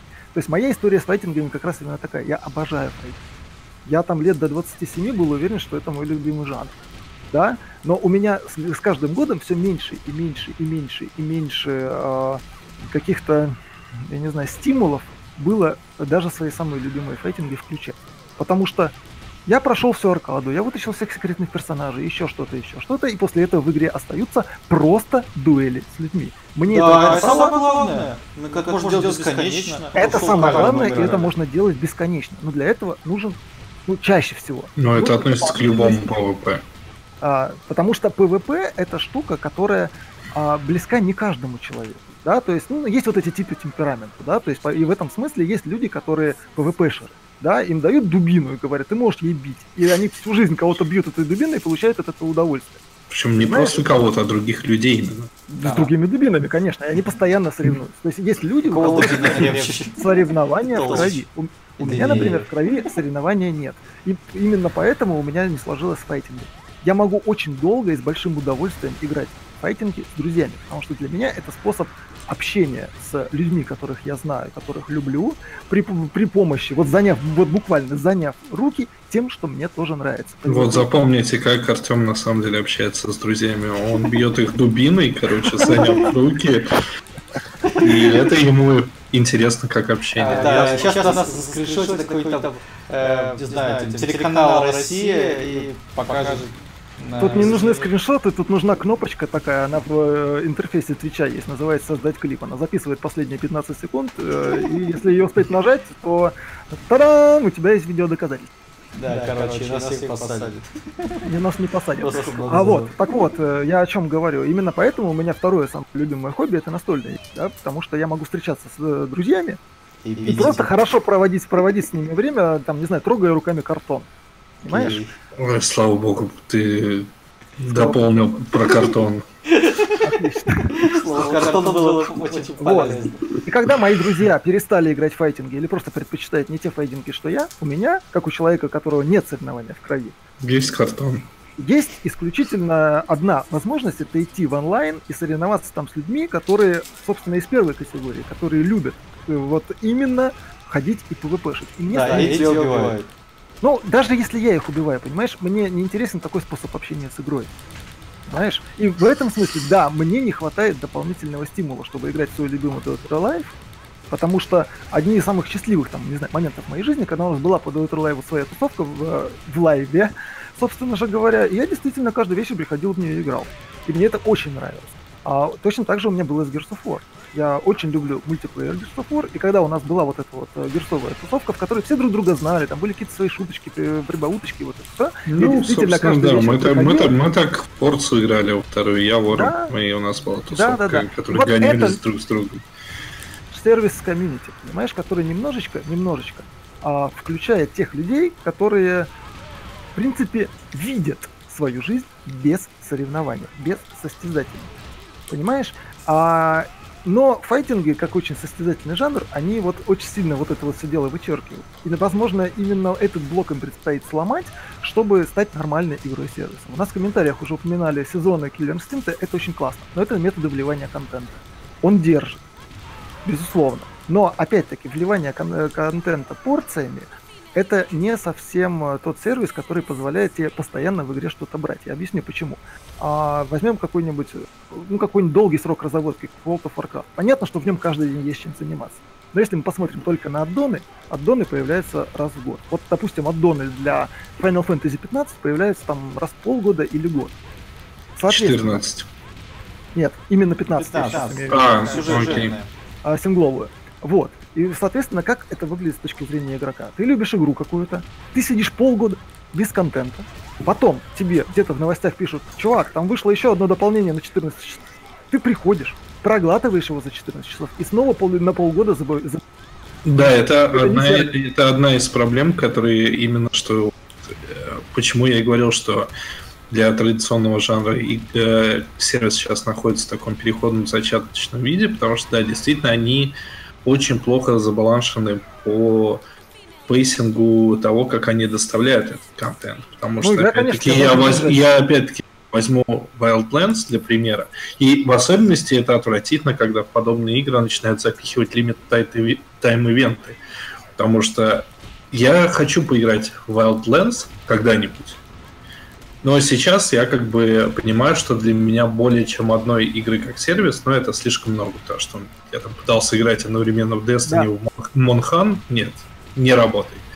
не И работает. меня очень-очень сильно в свое время смутило то, что в Wildlands они запустили этот ивент с хищником, который выглядел супер круто. Да. И они тогда сказали, он продлится две недели. И я такой, блин, ну не хочу я сейчас Wildlands покупать, но с другой стороны я хочу поиграть в этот э, ивент с хищником.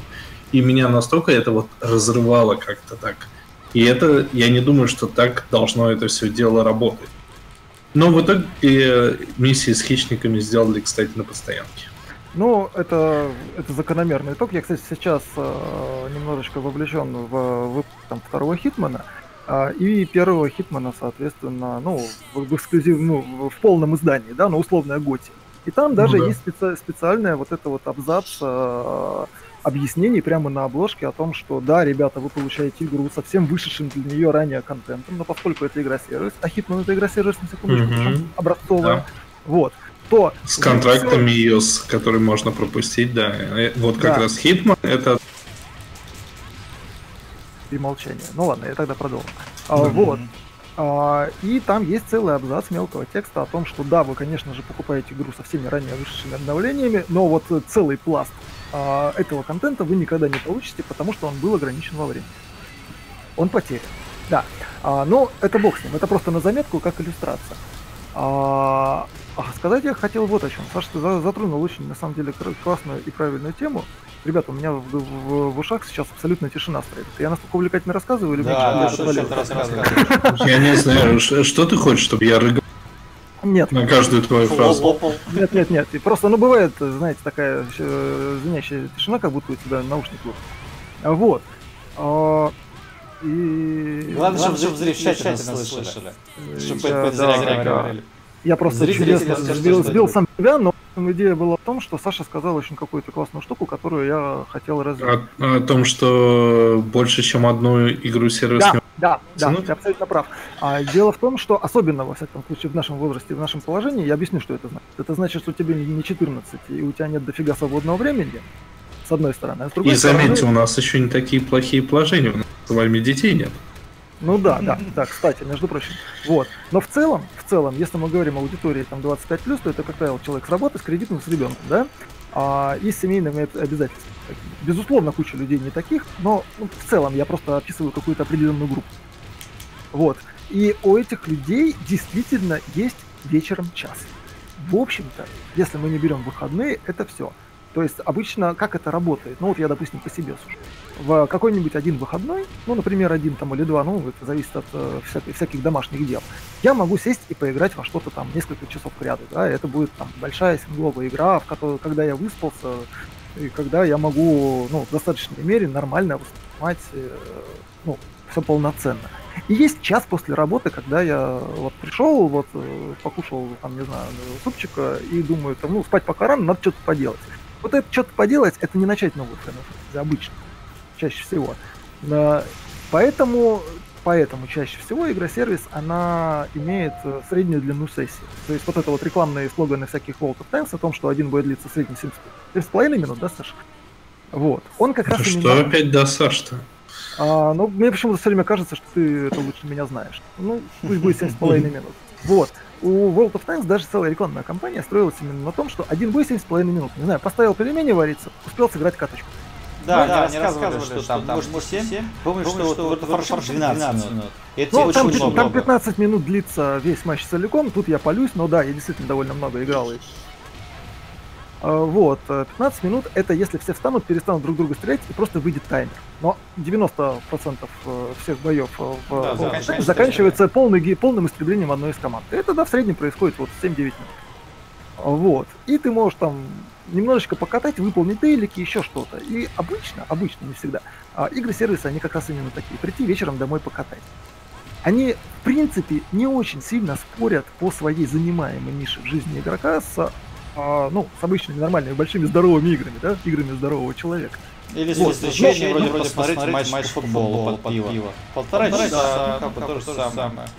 Но при этом они очень сильно спорят друг с другом, потому что, как Саша правильно заметил, вот в той группе, которую я писал, а, места для второй игры сервиса нет. Я тоже пробовал, приходится выбирать. Они Ну, очень сильно конкурируют. Да, это просто омерзительно и отвратительно. Я тоже. И мне очень сейчас интересно поиграть в Division 1 после всех э, патчей, обновлений и прочего, потому что на лонче игра была, ну, мягко скажем, отвратительной.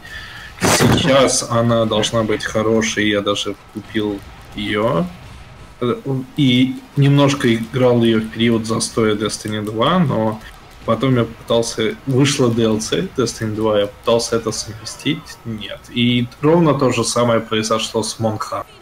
Я пытался начать Монхан. Я поиграл два вечера, да, игра... э, игра отличная, простите, чуть не сказал отвратительная. Игра, и- игра Чем отличная. близко к клавиатуре, да, две кнопки. Э, Да. Игра отличная просто, но я понимаю, что Destiny сейчас моя основная игра как сервис, и я не могу потянуть еще одну игру. Потому что в том числе я все-таки хочу иногда переключаться на все-таки традиционные игры. А если я начну тратить свое время на две игры как сервис, ну это совсем мой Это в два раза больше дейликов делать. Это два раза больше деликов, да. то есть, Вот. Ну, то есть история это на самом деле какая? А, как правило, как правило, и это в принципе, наверное, неплохая схема, но по крайней мере в текущем положении. А, такая игра хочет тебя удерживать каждый день. Да? То есть, соответственно, что такое дейлик? Это какая-то новая активность, там, это может быть сайт-квест, там, все что угодно, а, которая восполняется раз в день. То есть, грубо говоря, такая игра каждый день дает тебе повод а, зайти в нее и что-то сделать, и, соответственно, дает тебе же э, за это какую-то определенную награду, которую ты можешь пропустить. И вот это уже роднит ее очень сильно с фри боязнь что-то упустить.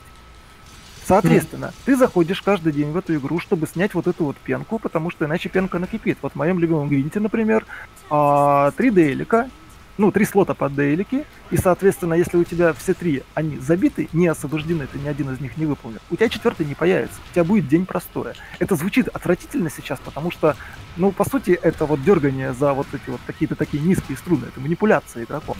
Но при всем при этом, это так или иначе, это те самые эмоции, которые мы хотим получать. В общем-то. И поэтому, если ты отвлекаешься на какую-то соседнюю игру, сервис, хочешь играть в две сразу, то здесь у тебя сразу возникает такая вилка. Либо ты тратишь в два раза больше времени, либо каким-то образом ты должен смириться с тем, что ты будешь эти самые условные дейлики пропускать. А мозг у нас так не устроен, он не хочет пропускать, если он во что-то каждый день вкладывает. Ну да, лучше да, быть это- это не тренировка в спортзале. чем по чуть-чуть каждый. А если ты много пропускаешь, то у тебя сложится уже, опять-таки, из-за а, особенностей нашей психики, ам, как бы так сказать, некоторое отвыкание. То есть вот вы замечали, наверное, что если ходишь в спортзал, ты ходишь по расписанию. Ну, назовем это каждый день, хотя это неправда. Вот. И ты ходишь, ходишь, ходишь, и это твоя рутина, это нормально. У тебя организм под это подстроился. Ты заболел, ты уехал в отпуск, там, не знаю, начались новогодние праздники, ты неделечку пропустил, потом вернуться трудно. Это способ бросить игру. Именно поэтому а, одна из игр-сервисов проигрывает. Ты ее воспринимаешь не основной. Она Тут, тебе так, в комментариях побаловать. хороший комментарий, что нужна Uber игра сервис многожанровая. То есть что там в одной игре были там и гоночки, и шутеры, и все подряд. Я понял. Мгм. И это, мне кажется, как раз решило проблему. А чтобы такое было, оно и- закрылось. Та- Я могу назвать два проекта монструозных, которые не выстрелили. Ну, Это точнее, выстрелили, но по-разному.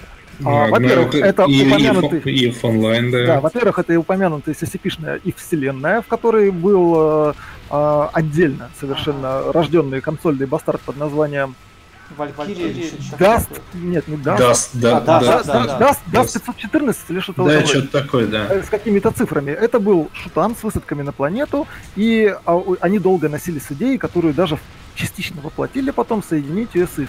То есть люди, которые бегают э, и шутятся а-ля Quake на планетах, могут запрашивать э, там вот эти какие-то орбитальные бомбардировки и так далее. Короче, в общем, какую-то помощь от игроков, собственно, в их Да, онлайн. да, да, да, да.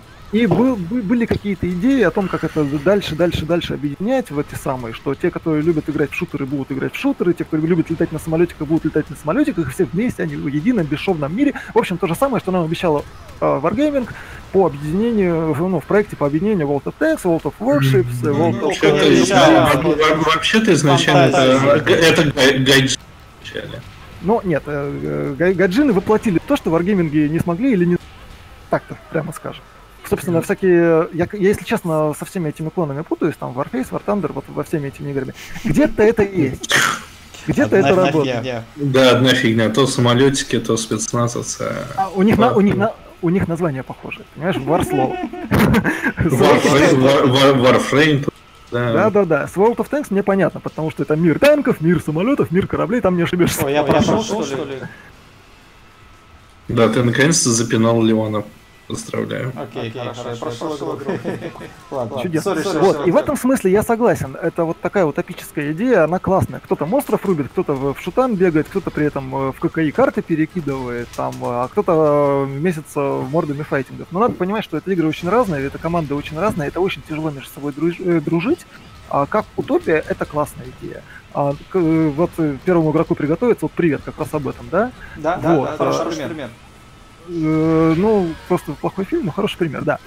А, Вот. э, э, Но поверю ли я в то, что кто-то на таком вот э, уровне, о котором мы все мечтаем, это может воплотить? Ну, наверное, не очень поверю, хотя было бы круто, если бы я ошибался, это правда.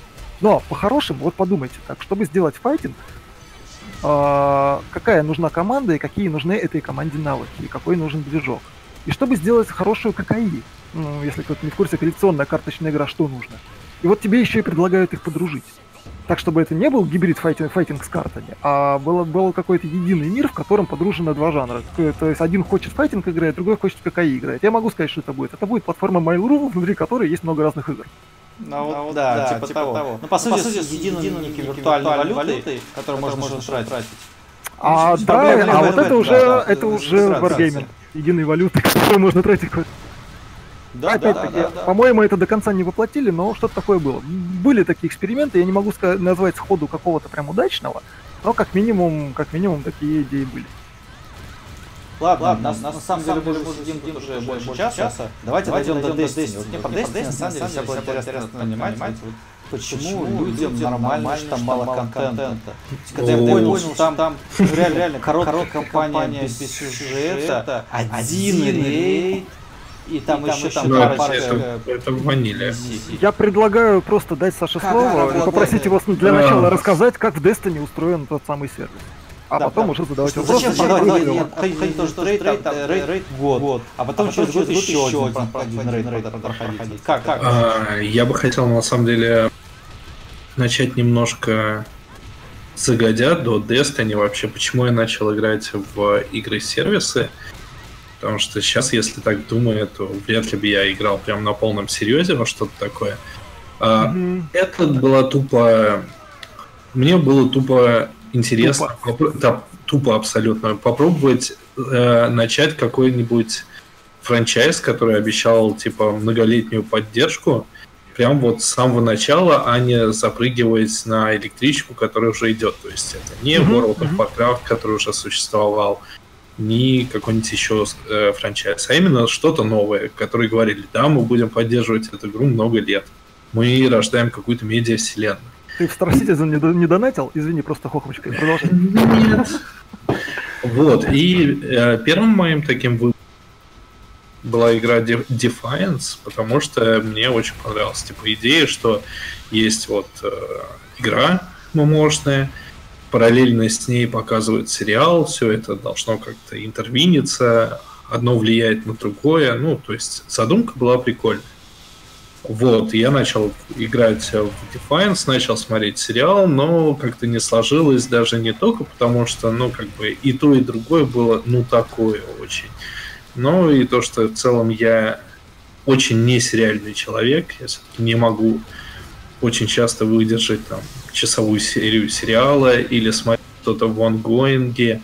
И плюс у Defiance был, была ужасная проблема с тем, что да, это вроде как сериал и игра в одной вселенной, но сериал был своей атмосферой такого типа вестерна, что-то вроде а-ля Firefly, и игра, которая была, по сути, Border.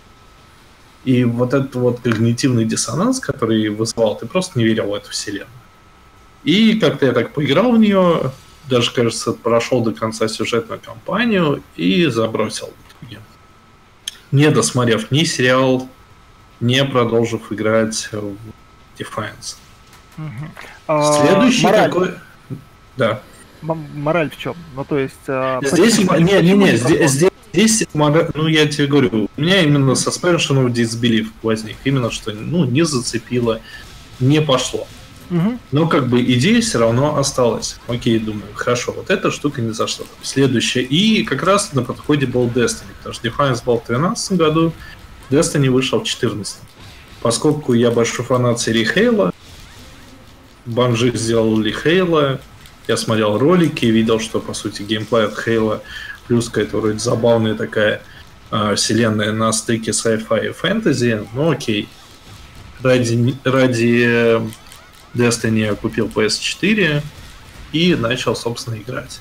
Но тут, опять-таки, это первое, что мною двигало, это именно curiosity, проследить то, как будет меняться игра. То есть это одновременный какой-то такой эксперимент по наблюдению за развитием геймдизайна в рамках одного франчайза. И в данном случае Destiny полностью это доставила в рамках роллер-костера, эмоций и геймдизайнерских решений, которые она предоставила, она просто уже доставила настолько сильно, что, мне кажется, наверное, если бы я мог, я бы написал уже книгу о том, как я играю в Destiny, какие эмоции она мне доставила, как, где она меня прям до слез растрогала, где она просто мне вулкан взорвала и все такое.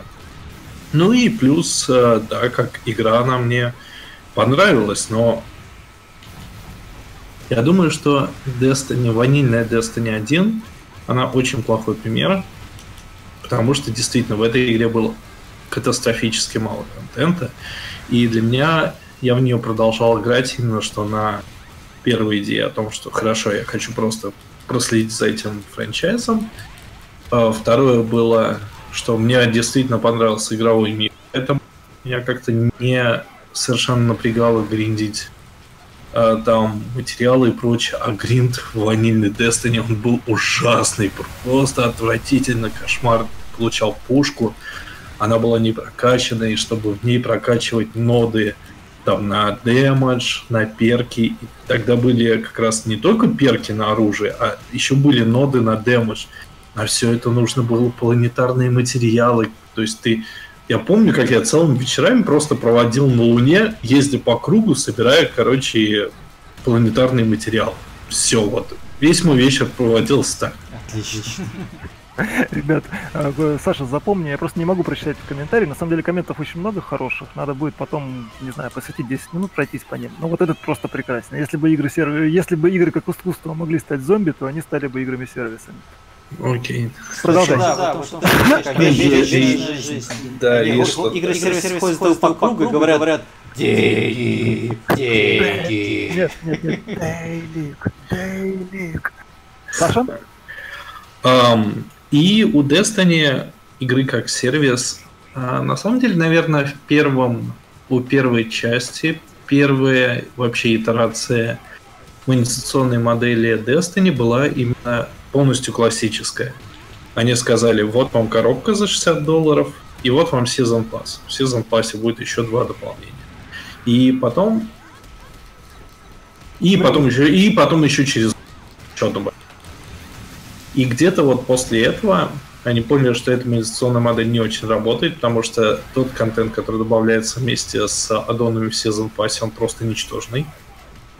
Эм, Они ввели в итоге микротранзакции, и вместе с этими микротранзакциями на самом деле игра стала более походить уже на live-service, потому что там начали появляться limited time ивенты эм, какие-то бесплатные при этом обновления и прочее, прочее. То есть реально вот Destiny, она эволюционировала именно по самой идее распространения, как классическая игра, как коробка с DLC, до какой-то платформы.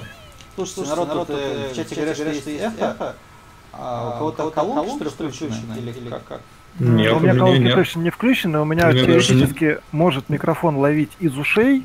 Я сделал по- уши потише. Если проблема была во мне, она сейчас как минимум Да, уменьшится. да, Вы народ, народ подтвердите. скажите, потому что, потому что и сначала, же не было вроде... я Да, не говорю, такое еще часто происходит, если кто-то меняет свое положение, оказывается ближе там к экрану, к источнику звука. Да, да, да. Ну, Короче, Спросите себя, да, не, да, не прислонились вы- Нет, я, я- я вроде не менялся. Ну тогда, тогда не, не- продолжаем.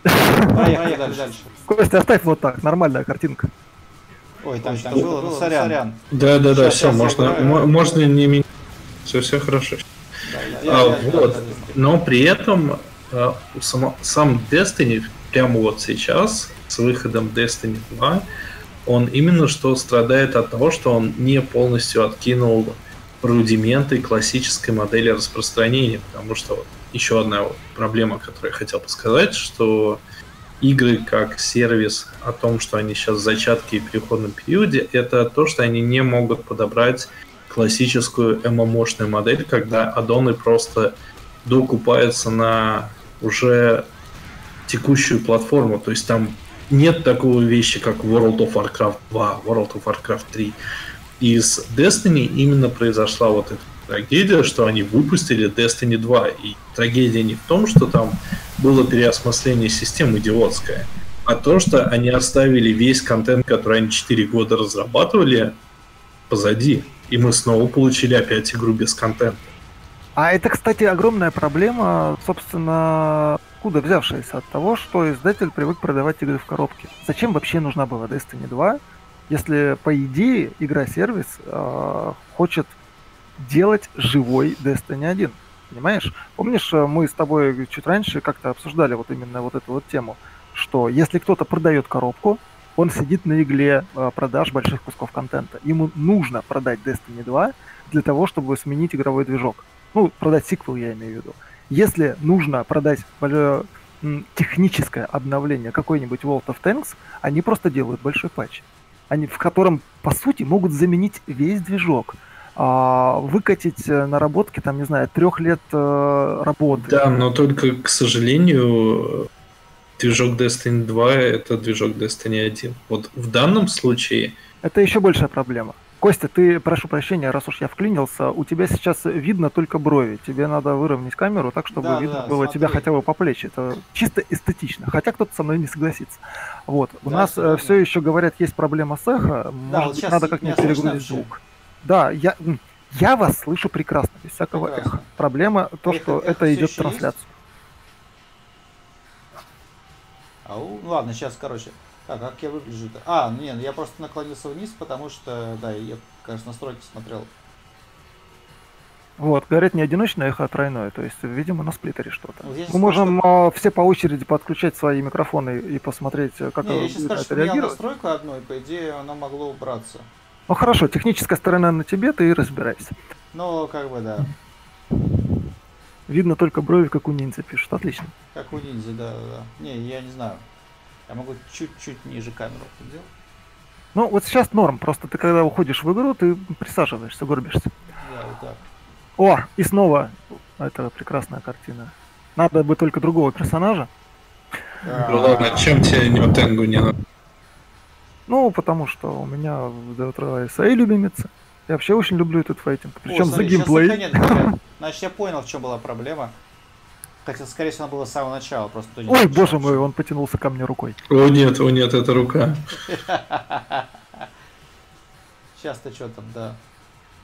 Нормально. Луис. Вот. А, Саша, если ты помнишь, о чем ты говорил, наверное, продолжай. Просто очень много Destiny уже. Очень много уже. А, ну, я имею в виду, что мне бы Вопрос- хотелось в каждый момент я- рассказа я- понимать, зачем. Я, я, я, вернусь к вопросу Брена о том, зачем перепроходить рейды и все такое. Мгм. Но в Destiny 1 там как бы у всего оружия были рандомные роллы, поэтому люди просто гнались за годроллами. И за дропами тоже, потому что Чего все-таки... это значит? Что это значит? Окей, да, я понял, я на марсианском начал разговаривать. Да-да-да-да-да. Грубо говоря, э, перки, э, перки на оружиях в Destiny 1, они эм, ролились рандомно. Да, я понял, очень понятно. Я понимаю, что говоря, вы говорите, ка- потому каждый, что я... каждый раз, когда тебе выпадала пушка, перки на ней расставлялись э, случайным образом. Ну, как в если ты- Borderlands. да, по сути, э, Destiny это и есть лут-шутер. То есть это тот же самый Borderlands. И ты занимался тем, чтобы получить пушку с максимально выгодным тебе набором перков. А в рейды ходили, ну, чтобы получить, как и в Вове, там, набор брони, чтобы после того, как ты в 30-й раз от Иона завалил, это финальный босс первого рейда, чтобы наконец-то и выпал экзотический мифокласт. И Короче, гринд. такое. Гринд, шмот, да. И это, Вот. основ- и это основа Destiny, это шутер. Все Перефрази- делается ради лута. Почему Destiny 2 стала настолько большим разочарованием? Потому что они зафиксировали на каждом оружии набор перков, и буквально через пару месяцев, когда Кончился те- контент. да, у тебя кончился контент, ты понимаешь, что мне выпал еще один Better Devils. Классно. Я его разбираю, потому что у меня уже был Better Devils, зачем мне новый Better Devils? Так что это, я думаю, на отдельный вообще подкаст про проблемы Destiny и моего Ну, эмоционального роллер-костера. Но вот для меня Destiny стала именно такой игрой-сервисом. И в том числе, это опять-таки, да, игра не только потому, что я слежу за геймдизайнерскими решениями, но и это игра отдых. Потому что когда я прихожу вечером, я прекрасно понимаю, что мне нужно сделать. А, В Destiny 1 были дейлики, в Destiny 2 система недельных майлстоунов, так что, по сути, это то же самое. То есть тебе на неделю дают задания, а уж как ты их там растянешь, это уже твое дело. Можешь в один вечер все это сделать за три часа, можешь растянуть на несколько. В общем, играй как хочешь. И для меня это в том числе, как уже Тёма сказал насчет файтингов и Dead or Alive, это общение. Потому что как бы Destiny, ну, можно играть соло, но весь эндгейм завязан на все-таки групповое прохождение и матчмейкинга там нету. Хочешь, не хочешь, тебе все равно надо искать патю. И для меня такой пати стало то, что я тупо ам, вступил в клан иностранных людей, и я просто познаю иностранную культуру с ними. Ну, то есть ты, ты, ты, ты общаешься с людьми и щупаешь как при этом картон. Да. Ох, забавно. На самом деле, я, когда ты рассказывал... э, Но вот сейчас, про извини, сейчас, сейчас, Давай. сейчас. Опять к поинту Кости о том, что эм, это игры жвачки, которые из-за которых не остается время на нормальный experience, это безусловно так и есть в том числе. Потому что вот прямо сейчас у меня есть Якудза 6, который я очень хочу пройти, но у меня тупо нету э, времени, возможности за нее сесть, потому что либо я прихожу с работы такой убитый, а, типа, в Якудзу сидеть, то есть там, подожди, целый час сначала заставки смотреть, потом потом, значит, драма, потом, да, по кафешке, ну, ой, блин, нет, можно я просто постреляю кому-нибудь в лицо, получу за это няшку и где-нибудь там пообщаюсь с моим другом из Бельгии. Вот. А потом включается во мне еще такая штука, как комплеционист. Она иногда во мне появляется. Я в целом не бегаю за всеми ачивками, но почему-то в Destiny а, меня все-таки задевает, когда я не выполняю, например, там есть в каждом году есть такая вещь, как э, э, триумфы, типа тебе дают финальные а, э, набор ачивментов, и типа за этот финальный набор ачивментов, если ты выполняешь по определенное количество, то ты там получаешь внутри игры какие-то вещи, или в том числе эксклюзивную футболку, ты можешь сказать. Но меня это не останавливает, то, что окей, хорошо, такой получил возможность купить футболку, купил себе эту футболку. Меня именно что не останавливает, что я вижу, когда незаконченные цифры, например, что ты выполнял, получил 390 очков из 400, и ты понимаешь, что эти последние 10 очков, они отнимут у тебя там 10 часов твоей жизни. У меня это настолько сильно раздражает, что вот, вот конец, я могу же- сказать даже коне- конец очень-очень близок, и я действительно потрачу на это свое время. чем Пойду играть, к сожалению, в Якудзу 6, но при этом все равно буду страдать, что я еще не Нравится, поиграл в. Якудзу 6. Да, Просто я, могу, я, я это могу выдохнуть. И игра мне нравится в том числе, но опять-таки, где-то Просто я, если я композиционизм получается не в каждой игре, а только в какой-то конкретной, Ну, как-то... то тебе наве- хочется, чтобы уж эта игра отвечала тебе за Да, это. но Уж если, это. если ты помнишь, э, я никогда не был э, этим охотником за ачивками, если ты помнишь, первая игра, в которой я выполнил абсолютно все, была Бэт- Бэтмен Arkham Asylum, мы, да- даже про это говорили в нашем обзоре. Да. Ну, я Да, об этом том, говорю. как игра стимулировала то, чтобы ты в ней сделал все абсолютно. Да, да, да. А, Я, кстати, наверное, от ачивок именно потому, что вот моя такая игра, которая, а, взаимность от которой мне хотелось больше всего, меня жестоко предала и обманула, и я освободился. Это были Gears of War как раз еще первые. А, Я очень много играл в мультиплеер, я до сих пор считаю его гениальным. И в чем там была штука? Там ачивки были достаточно примитивные, но в применении к мультиплееру они, ну, были сложные. Там по-моему, было по 50 э, типов убийств в каждом, ну, Тут, извини, я тебя прерву, говорят, что надо бросать мне Destiny, гамать в Якудзу, хватит да, кормить хватит котик. кормить котиков и, И бобиков. и Я- я, к бобиков. сожалению- Вот. Потому что в Якудзе 6 есть сайт-квест на котиков, так что я не, я не брошу кормить котиков, Да, даже ну, если перейду, если перейду из Destiny в Якудзу. Ну, просто это будут уже совсем другие котики. Другие котики. Вот, ну вот, и, короче говоря, очень много времени потратил на то, чтобы сделать 50 штук очень сложного убийства, там, если не ошибаюсь, из пистолета, самого слабого оружия, и приходилось очень много заморочиться ну, для того, чтобы делать. Я не буду вдаваться в механику, чтобы не говорить на птичьем языке, но вот, в общем, так. И когда я это выполнил из-за какого-то глюка, игра мне этот ачивмент не дала. И у меня Это, пропало... это не, не Seriously или как там? Как там этот ачивмент долбанутый совершенно назывался? Там Не-не-не. тысяча убийств, 10 тысяч убийств. Не-не-не. 10 тысяч убийств и так далее, они сами набираются, понимаешь? А вот а убийство конкретно пистолетом, оружием, которым сложнее всего кого-либо вообще когда-нибудь убить, я имею в виду мультиплеере, да, где Ага. враги тебе не отдаются. А для этого приходилось, скажем так, играть по-особенному. То есть играть на ачивку. О, То, да. как- это, это, по Э, сути, делики такие были. Ну вот, Вот, по, сути, когда- по, по сути, да, это те самые триумфы, потому что, опять извини, я тебя перебью, буквально в прошлом году, значит, когда заканчивался последний год Destiny 1, они выкатили эпоху триумфа, где выкатили э, книгу с рекордами, где было очень много рекордов, там, типа, чего только не нужно было сделать. Но эти все рекорды могли открыть не все. Если ты играл с самого начала и как бы участвовал во всех ивентах, естественно, у тебя там ретроактивно все это открывалось. Мгм. И именно из-за того, что я начал, я играл с самого начала, я участвовал во всех ивентах, естественно, у меня открылось сразу практически 80% этой книжки, И тут я понял, в какую я засаду попал. Потому что в- за эти 4 года, вот опять-таки, это разграничение, как ты используешь игру как сервис. В игре есть три класса. Варлоки, Титаны, Хантеры. Я играл всегда за один класс. Потому что, ну, мне, Ну, понятно. меня, мне не хватало времени еще и Титан. Я, я Варлок мейн. Хватит ныть, Еще- понятно. Еще Титаны и Хантеры мне про- просто было не время. И тут в этой книжке там были ачивменты, которые требовали Хантера и Титана. И вот я такой, блин, у меня всего два месяца, чтобы восполнить вот это вот трехгодовалый гэп не игры на Титане и Хантере.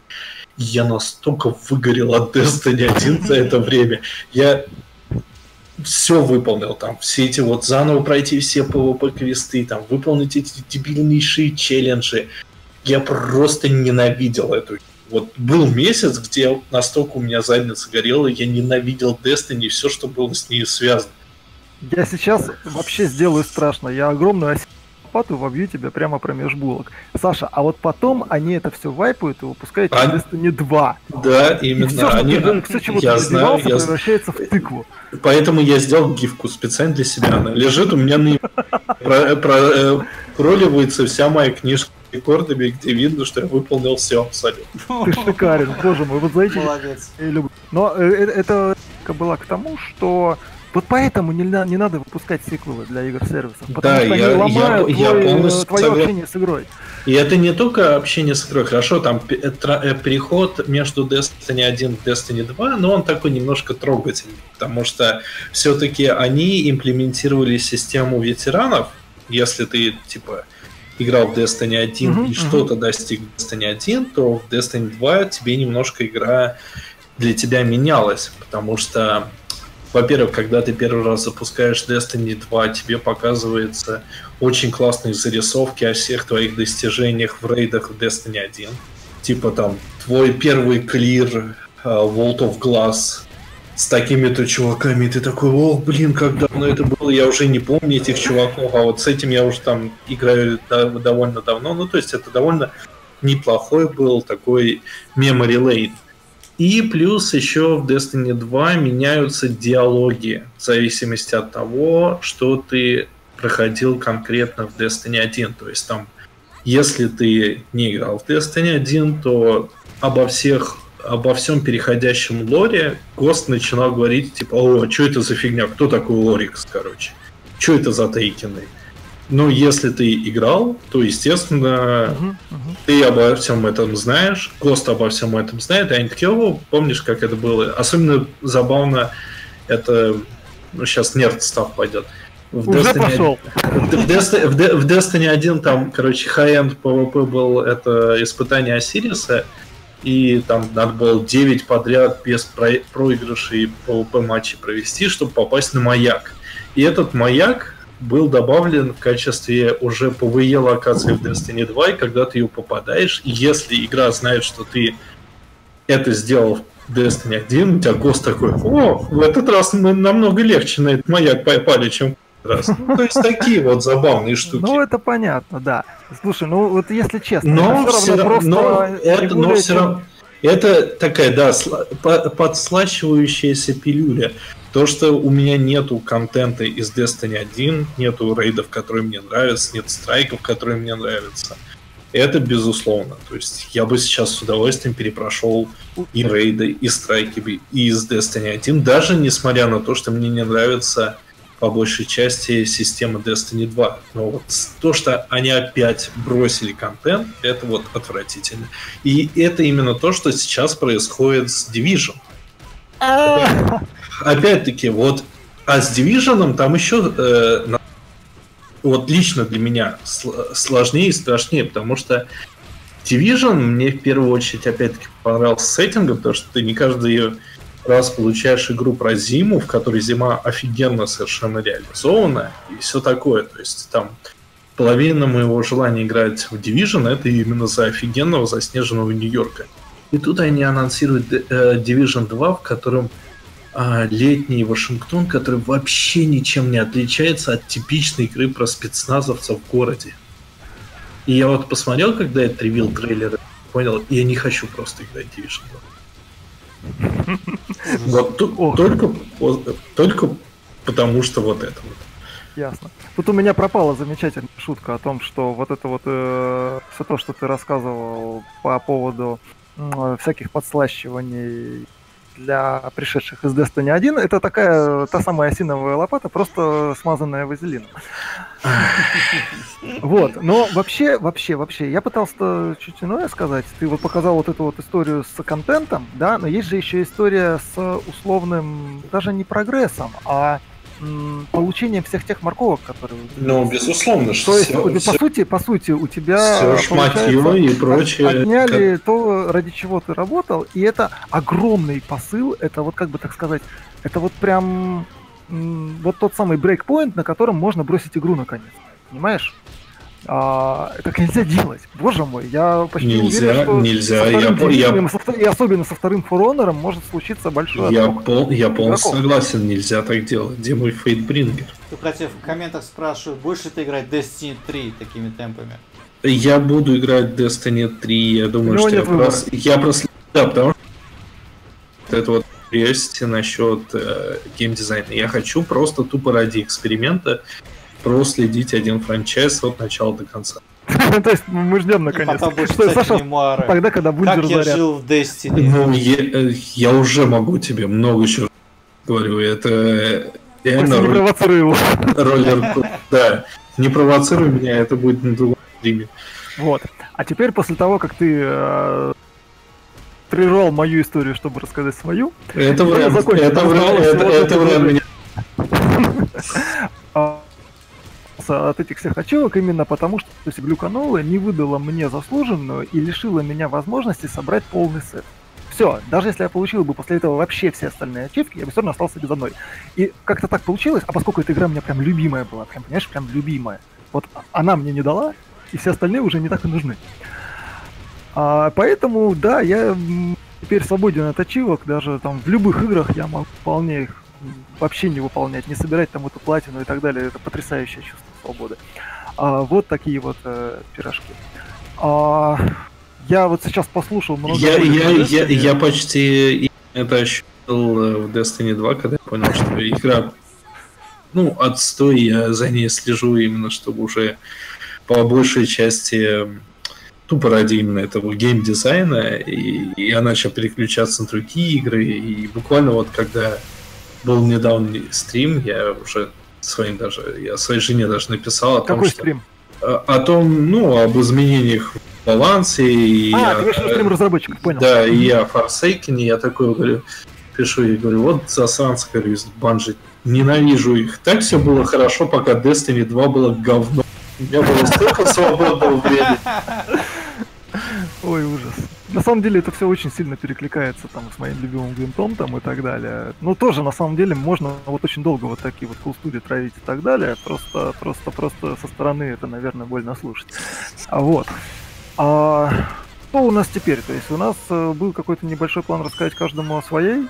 А, Твоя вы очередь рассказали. Про Ты вот не Грин. рассказал, Ты справишься. Мы можем поработать на самом деле по комментам, потому что на самом Почему? деле... Ты, ты про Гвинт особо не рассказал. Да, да. Я вот. могу, но Ну, давайте давай. так. Давайте так. А что вы мне такого рассказать? Ну, почему? что- Почему? Почему тебе это Почему нравится? Гвинт? А все очень в каком-то смысле просто. На самом деле это все выросло из World of Tanks. А, я сразу вспоминаю времена, то, как мы с Вороном еще в стране игр, э, он подходит ко мне и говорит, Тем, а почему ты вообще играешь в World of? Я такой, А ты слушай, играл в World of Tanks? Да, ну я сейчас иногда... Бесплатно? Ну, в смысле, как бы окей, по своей воле. А, вот и да, и нет.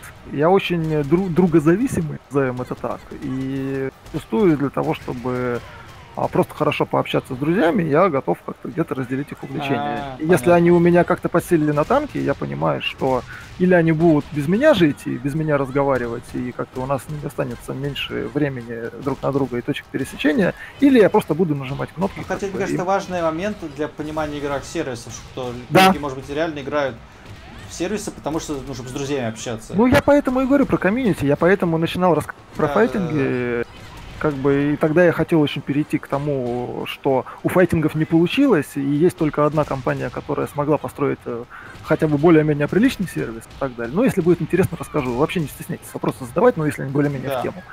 Вот. А что касается... Вот, я тогда Юрке-то ответил Ворону, что, ты знаешь, это вот в двух словах так не расскажешь, это вот прям надо на пальцах и человеку заинтересованному объяснить. Потому что там интересная механика, правда. И ты будешь ржать, но это механика, которая похожа на Gears of War. Вот. А, И Гвинт, это не я- шутка, это правда. Все-. Речь все еще о Гвинте. А, нет, речь о World of Tanks. То есть ты, А, ты- окей, ты же слава богу. Ты же спросил. Вот. И он тогда прям захотел сделать какой-то там небольшой э, видеоматериал как раз вот именно об этом. Но оно все заглохло, превратилось потом в спецвыпуск по Wargaming, ну и, в общем-то, и бог, и А, бог окей. бы с ним. Вот. Но это была для меня какая-то отправная, наверное, точка в том, чтобы, ну не знаю, э, полюбить атомную бомбу, да, и успокоиться. Да, Потому да. что я пощупал э, все вот эти вот страшные игры-сервисы фри-то-плей, которые еще тогда не различал, а, ужасные, мерзкие, пугающие и так далее, так сказать, изнутри, и не по какой-то там, не знаю, рабочей необходимости. Хотя, честно скажу, я вел какой-то небольшой дневник, записывал какие-то клевые истории, хотел там небольшую рубричку в страну игр вести с приколюшечками, но это, это все очень сильно пахло двухтысячными и так далее. Уголок бескусицы Артема Шорохова? Да-да-да, вроде того. Дневники геймера. Вот. А, но я поиграл и понял, что это, в общем-то, хорошо и так далее. И в этом смысле тоже где-то как-то освободился, избавился от последних предрассудков. Вот. А что касается гвинта, а, видишь ли, в чем дело? У меня есть проблема. Да, меня зовут Артем, и я а, не соревновательный игрок. Да Вот. ладно. Да, да, абсолютно точно. Несмотря на то, что как бы... э, Игрок ку- и- ку- и- Кумите, да, ку- ку- кумите, боевые искусства, игры файтинги, вот это все. Я действительно... А а я еще и в Го играл, а это вообще отдельная история. Вот, я действительно не люблю дуэль. То есть я чувствую себя очень хорошо в командных каких-то играх, потому что я командный игрок, безусловно, и в этом смысле я ну, довольно комфортно себя чувствую. Я не очень комфортно себя чувствую, когда меня хотят убить, ну, условно, условно говоря, да, то есть в ПК, в PlayerKill. Вот, потому что мне приходится тогда включать отдельный режим. То есть, если я чувствую, что человек прям всерьез хочет как бы э, тут со мной Ты- разобраться, мне да, приходится мы- самому такой же режим. Ба- я его не сна- люблю. Сначала ты банку показываешь, знаем мы это уже. Ну, это, это понятно. Вот. А я очень не люблю переходить вот в этот, этот режим или я, или он. Вот. Это для меня очень мало совместимо с играми. У меня поэтому не очень хорошо шахматами, не очень хорошо с го и так далее. Ну, я про это тоже могу я про это рассказать про свою. Ну, Вот. нельзя это называть карьеру, но опыт игры в файтинге именно компетитив. Я еще играл, ох, да. Я знаю это ощущение, оно тоже меня. Это был love and hate re- relationship, когда Вот. с одной стороны мне хотелось играть, с другой стороны я понимал, насколько много стресса мне это приносит. Да-да-да. Ну. А у меня такая штука э, с целым жанром, понимаешь? Причем жанром, который я вел своим любимым. Я бы сейчас, может быть, считал, но я, так сказать, смирился со своими особенностями. Вот. А, поэтому, когда у меня есть компания друзей, с которыми мне комфортно, с которыми я не чувствую, что меня хотят убить, и, соответственно, не обязан включать обратно Только вот, почки э, отбить. Истребительное, да, настроение, то мы с ними нормально просто мэшили. То есть мне было нормально проигрывать, выигрывать и так далее. Потому что для меня победа не была главным, для меня главным было, что вот мы все вместе собрались, играем в файтинг, есть красивые приемы, и, они, и у меня получается комбить, да? Вот. И как это все перевести в гвинт? Э, То, что это игра соревновательная, это тоже дуэль. И вот, допустим, когда я пытался более-менее нормально играть в Го, а, у меня не получилось. Именно потому, что у меня огромное количество вот нервов и энергии отнимала каждая партия, потому что это безумно сложная игра, в которой не- не- нельзя допустить ни одной ошибки там, за три часа партии, и вот это вот все. И это, это в ужасном напряжении держало. То есть кому-то это напряжение очень нравится, а я его ненавижу. Вот. И когда м, Гвинт только-только начал появляться, ну, для тех, кто не знает, есть игра Ведьмак 3, а в игре Ведьмак 3 есть встроенная такая небольшая коллекционная карточная игра Гвинт. Э, Если нужна аналогия японская, то это Final Fantasy 8 и тамошняя карточная игра. То есть у них ничего общего в механике, но суть примерно та же самая. Ну или как собак в этом Да. э, Knights of Old Republic. Мгм. Ну, то есть ты можешь просто дополнительно внутри как бы большой сингловой игры заниматься коллекционированием и там дополнительным геймплеем. Вот. А встроенный Ведьмак 3 Гвинт был очень простым. А это была, по сути, копия механик Кондотьера. Э, Есть такая настольная игра, причем бесстыжая достаточно копия. Но это все равно было увлекательно. И поскольку это было вплетено в геймплей, вплетено в игру, и не имело вот этого для меня нелюбимого страшного дуэльного experience а, я в нее там с удовольствием играл. Она, не могу сказать, что мне прям сильно нравилась. Там у нее много проблем, она слишком простая, э, ну, простая в смысле не глубокая и так далее. Но поскольку я очень, прям очень люблю вселенную Ведьмака, а, я там многократно перечитывал книги, я познакомился там с Ведьмаком очень рано, в том плане, что это был подростковый еще возраст, это книга была относительно свежая. Виллами познакомился? Что? Виллами познакомился с, с Ведьмаком. Чего? Виллами? А, ну это Сашин черный Да, он намекает на то, что именно я убил. Это спойлер. А, вот, то для меня это было, была такая добавочная стоимость. То есть э, это игра в моей, одной из моих любимых вселенных э, с любимым персонажем. На нее накладывается еще то, что мне очень нравится, что сделали Red и CD Projekt Red. А, потому что какая большая проблема любых экранизаций и любых э, произведений по мотивам. Когда ты читал книгу, у тебя в голове э, ну, нарисовался свой собственный фильм со своими собственными актерами а потом тебе показывают что-то другое. И ты такой, как Хабенский, это Антон Городецкий. И вот а, у Редов а, получилось сделать, на мой взгляд, вообще невозможно. Они практически идеально попали в то, вот в мое это внутри головы представление. А, не всегда оно совпало, э, ну, в плане там внешности, в плане там каких-то как манеры персонажей там и так далее. Но почти всегда мне а, понравилось то, что они мне предложили. Такого не было больше ни с одной экранизацией, ни с одним чем. То есть сколько я вот таких вещей не смотрел или ничто, совпадения настолько хорошего не было. То есть, может быть, они настолько бережно относятся к вселенной, может быть, у нас с их арт-дизайнером ну, просто какая-то вот общая волна, не знаю. А, Ведьмак, в первую очередь, третья часть, как игра, для меня визуализирует вселенную, которую я очень люблю, очень удачным способом. То есть мне прям интересно было посмотреть, а как они сделали вот этого персонажа, понимаете? Вот. А карточный гвинт, который там есть, он давал еще больше персонажей. Те, которые там, не знаю, не вошли в игру, но были в книгах. И, и вот все такое прочее. Вот. А поскольку у меня еще одно из моих основных хобби это настольные игры, для меня вот все вместе сошло. Но я все еще ненавижу дуэль. Что же с этим делать? Тут они, понимаешь, анонсируют. Я понимаю, что у меня очень длинная история, как у Саши получается, но вопрос просто слишком сложный. Спросил бы еще попроще. Подожди, вот. подожди, они... тут нормальное уже отвлечение. А, тут они анонсируют э, Гвинт как отдельную И это выглядит очень логично, очень закономерно, но это вот свою особенность, про которую я рассказывал, сразу думаю, это не для меня. Я не буду с какими-то рандомами из интернета дуэлиться. Это бред, мне это никогда не нравилось. Я буду только расстраиваться. Вот. И реально забил. Ну, то есть даже не обращал особенного внимания, ничего такого, до тех пор, пока они где-то не по неосторожности не пообещали однопользовательскую сюжетную кампанию. Тут меня прям завело, потому что однопользовательская сюжетная кампания а, в настольной и карточной игре по моей любимой вселенной от разработчиков и художников, которые мне показали, что они прям могут, это прям вот надо. Я добыл, соответственно, пропуск в закрытую тогда еще бета-версию, установил, прям вот в нетерпении пришел домой, поиграл что-то два часа и вообще не впервые. Прям никак тяжело сейчас, я понимаю. Так, вот. да, но, давай, но, давай уже. Но, но, Plot twist а развивай. Plot twist. А, прошло какое-то время, они пришли в открытую бету, выпустили, а, ну, то, что можно назвать релизным трейлером. Если кто-то не видел релиз трейлера Гвинта, я вот прям вот призываю. Это, это, где, он... это где они в таверне? Да, да. Он охеренен. Он вот, вот, вот без всяких скидок на 100% охеренен. И одним этим трейлером они меня вернули подумал, ну а может все-таки дать ей вот все-таки шанс, и может быть она все-таки сможет. А сразу напомню, что однопользовательской компании не было. Они ее пообещали, но еще не реализовали бета-тесты. Я вернулся из-за этого трейлера, начал потихонечку играть и понял, что мне все нравится. Что надо было чуть-чуть подразобраться, понимаете? А вот в ней обнаружилось второе дно, которого не было в оригинале.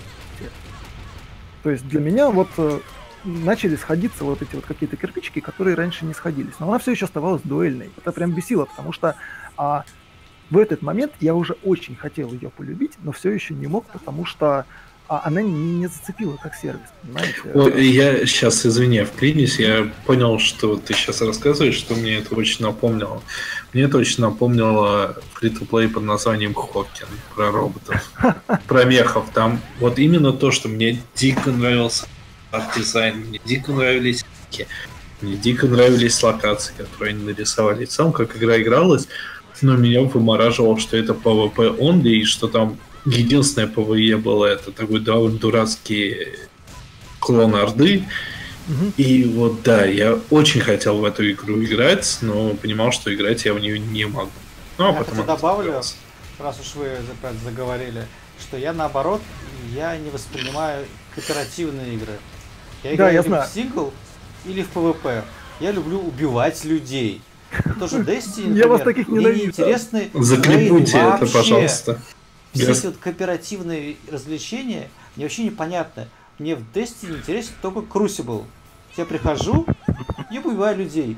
При этом там почти не важны скиллы, ну там нужно ка- какой-то набор, но в целом там более-менее все уравниваются по возможностям. И для меня там слишком мало видов оружия. Давай, ура- я- уравняйся против гравитона. Ну, Давай, там- покажи там, мне. ну, Там по, по дэмэджу-то все же уравниваются. Это по light level уравнивается, а потом только включается мета, и ты такой думаешь, о, ну Да, я там же... нет, там есть Ну я же взял автоматик, почему меня из мида А я- разбирают а я через равно, а я все равно этих чуваков с мида убиваю. То есть, если ты вот, ну, там нужно все равно какое- какое-то там количество поиграть, э, ну, пройти сингл на самом деле, получить какой-то, как- какой-то набор оружия базовый, который более-менее еще норм, и все. А дальше ты сидишь спокойно играешь в PvP. И мне там просто было мало контента. Ну вот, ну а вот рейды все, мне вообще было неинтересно. С какими-то людьми. Брэн, мне кажется, ты куда больше меня концов подведут, я. зачем мне нужны, там потом с каким-то кланом общаться. Вот, вот, вот, я о. Костя, это убью. убивать людей. Вот мы и выяснили, кто здесь. Да, короче, вот так. Вот, а вы, скорее всего, да, вот вы любите взаимодействовать там, друзья. Вот поэтому ты главный редактор, а мы командные игроки, да. Ну, да, я люблю всех убивать, конкурентов. Вот, а, да, о чем бишь был разговор. Короче, Да. история, история была в том, что а, игре пришлось реально а, пробиваться через мои блоки. Там вот в, коммент- в комментариях уже ржут, что у нас тут сеанс групповой те- терапии пострадавших э, стримеров от э, игр-сервисов. Ну Да. да. кстати, игры-сервисы это же самый стримерский хлеб. Ну, если по-хорошему. Потому Ну что каждый день да, можно так, стримить одно и так, то же, так, так и демонстрировать есть, да? Вот, и Да, самое главное, что самый их смотрят тоже. стример По тем- по- одну игру. по тем же самым а, причинам а, людям, а, ну, многим людям, не всем, конечно же, а, уютнее каждый вечер смотреть одно и то же. Одного и того же стримера с одной и той же игрой. Понимаешь? Экосисте- э, в- м, быть включенным в Рабыня экосистему и при этом не разбираться в чем-то новом, потому что разбираться в чем-то новом надо с утра. Ну, условно говоря. Вот. А, и с гвинтом. И, соответственно, я понял, что я попал снова в ситуацию с файтингами и год, когда мне все нравится, кроме, собственно говоря, дуэли с незнакомыми людьми. То есть, я повторяю, у меня всегда была лазейка, если я играю с друзьями или хотя бы просто с знакомыми людьми. У меня все в порядке. Я Да. просто люблю рандом. А, Да, есть поэтому- штука. Да, я начал, как обычно делаю в таких ситуациях, ходить по всем знакомым, пытаться их тоже подсадить на гвинт. У меня, естественно, ни черта не получилось, и мне пришлось э, задействовать план Б и самому найти таких людей. Там, возможно, некоторые из них сейчас в чате. Вот. И я нашел для себя экосистему, небольшую, замкнутую, в которой люди, которые ну, разделяют мои ощущения, которые тоже играют в Гвинт, там любят вселенную Ведьмака и так далее, а, с которыми я не мог играть. Спасибо тебе, Sony. Твою мать. О, отсутствие кроссплея? А, Отсутствие кроссплея. Отсутствие кроссплея и отсутствие возможности Да, это, и- это да, в том числе логиниться Сохи на не, других, мо- ка- Сохи не мог играть в Destiny, потому что у него Xbox, у меня на PlayStation. других платформах. Это отвратительно. Но, Отвратительно, а, абсолютно. Это такая служба поддержки, господи, служба, группа поддержки такая для меня была, да, снова ассоциация с анонимными алкоголиками, благодаря которой я оставался в контексте Гвинта и в контексте Ведьмака. А, даже если мне приходилось играть с какими-то другими людьми. В каком-то смысле меня это примирило, я а, смог а, наиграть достаточное количество, не знаю, часов, партий, архетипов для того, чтобы перейти, собственно говоря, в режим сервиса. Это вот очень важный момент, потому что режим игры сервиса это что такое? Это когда ты уже настолько комфортно чувствуешь себя в механике, что можешь э, э, играть как вложенное действие. То есть э, вот так же вечером, не особенно напрягая мозг, первые партии в винте меня очень сильно ломали мозг. Я в них напрягался, как в шахматах. Сейчас, чтобы выиграть хорошего противника, да, действительно, все еще надо напрягаться как в шахматах. Но у тебя уже проложены вот эти вот э, в мозгу дорожки, вот эти вот все нейронные связи, когда ты можешь делать э, многие правильные вещи на автомате, не особенно задумываясь. А, скрипт, говоря, скрип, начинается- ск- скрипт комбо. Скрипты, да. И здесь начинается игра-сервис, да, когда ты в том же самом Текине, в том же самом Deuter Live, по- попутно видя стрим, уже, в общем-то, на автомате делаешь какие-то обычные вещи. Повторюсь, на автомате выигрывать тяжело, но поддерживать игру на каком-то нормальном более-менее уровне можно. И, и начинает мозг, вот именно аналитическая способность какая-то мозга, меньше участвовать, ты меньше устаешь в таком случае. Ты меньше паришься, и тут включается игра-сервис, когда ты можешь прийти вечером с работы, прошу прощения, и расслабиться за игрой, а не напрячься за игрой. Понимаете? Да. Грустно, Вот, и в этом моменте, вот с этого момента, я, наверное, понимаю, у меня был еще переходный период, когда я достаточно много играл в, как вот там, Orcs Must Die Unchained. Я Хм. очень люблю Orcs Must Die, мы там с товарищем э, проходили все части и все дополнения, а пока она еще была сингловой сюжетной игрой, потом они превратили ее в сервис, то есть условный третий Orcs Must Die а, стал фри to play и вот этой вот Ну, сессионкой. он там фри-то-плей на PvP-шный и все такое. Но она не PvP-шная, она PvE-шная, исключительно. Ра- Разве? Да, да. Потому А что Orcs- когда, я- когда я ее смотрел еще в закрытой бете, там же было именно, что две страны насылают орков, и по сути это как бы Не-не-не-не-не. Мы либо говорим о разных... Unchained. В О, Unchained каком- был... о и был- о каком-то мутантском режиме. Не-не-не. А. В Unchained был изначально основной режим, что есть две команды э, игроков, которые играют за героев, и они также должны расставлять ловушки против вражеских орков, но и также они тоже насылают орков. Это Но ты при этом рассказываешь про но- какую-то доту, наверняка был такой режим, может быть, изначально игра строилась так и так далее. Ну, когда не, я- мо- не мо- не может быть, а точно, потому что я тебе говорю, я её в рамках моей прошлой работы как ну, по работе. Ну, в общем, Саш, мы здесь в некотором тупике, потому что я Ну, знаю, окей. во что я играл. Возможно, мы путаем или игры, или название. М, вряд ли. А прямо сейчас... Возможно, они перестроили серию. Да, прям, ну, игры-сервисы, в общем-то, тем и славятся, что в какой-то момент ты заходишь и понимаешь, что это совсем не та игра, в которую ты начинал. А, и это в каком-то смысле хорошо, в каком-то смысле плохо. Тут уже зависит от подхода и от конкретного геймдизайна. Вот. То есть у меня были уже к этому моменту какие-то определенные опыты в сервисах, и, видимо, ну, было просто найти свой. А тот, в котором я бы уже мог как независимая единица играть э, самостоятельно. А в кооперативах это тяжело, потому что тебе в любом случае приходится быстро и сразу находить язык э, общий с э, какими-то левыми людьми. А в дуэльках это оказалось довольно просто, потому что, ну, если тебе нравится механика, то в какой-то момент ты ну, набиваешь себе все нужные шишки, и после этого все становится совсем по-другому, проще и без каких-либо больших заморочек. Вот. Что касается конкретно механик, гвинта и так далее, ну, я не думаю, что есть какой- им- есть э, какой-то большой смысл прям это все рассказывать. То есть, если кому-то будет интересно, я не знаю. Ну, это так же, как... Это, стрим. это так же, да. Отдельный стрим, да. Стрим, то есть, но единственное, что а, с точки зрения механики он отличается от всех кокаина рынке. э, э, это хорошо. Слышали, потому он от- отличается от кокаина на рынке. Что, прости? Ничего, Ладно, ладно. ничего. Роскомнадзор заблокировал. Это что? Пе- Первые и последние страны игр, да. Все. Продолжайте. А. Уже выехали Я даже э, не знаю. Теперь то ли вы ржете надо мной, то ли еще что-то. В общем, а, он а, для меня хорош с очень многих сторон. И Если говорить конкретно в нише коллекционных карточных игр, где, безусловно, властвует Hearthstone с одной стороны и мотыга Magic the с другой стороны, у Гвинта точно есть своя ниша, в которой он лучше любой игры на рынке а, и может предложить что-то такое, что не может предложить любая другая игра. Если на это наслоить, это не значит, что сама игра лучше. это значит, что у нее есть э, уникальные, интересные стороны. Вот. э, И если на все это наложить действительно любимую вселенную и какие-то там еще правильные движения с э, позиции сервиса, то как-то так само получается, что я в него играю давно, и мне норм. Понимаешь? Наверное, Короче, ну, да, каждый находит себе норм. свою игру. Наверное, дело. Слушай, отлично, мне кажется, фраза для завершения нашего вот банкета. Короче, каждый находит свою игру-сервис и проводит в ней время. И Ну, так и про Fire? Emblem не нормально. А про Fire Emblem что? Там просто штука такая, что а, вот базовая механика Fire Emblem, там все эти баланс между топорами, копьями и так далее, она вся перенесена в сильную игру. Там разница только в том, что там карта маленькая. И персонажей у тебя 4.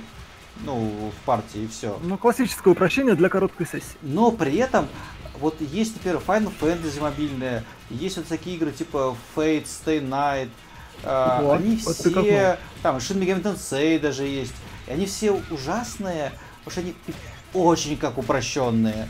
Там практически ничего не надо делать, ты нажимаешь одну кнопку и все, и твои персонажи всех убивают.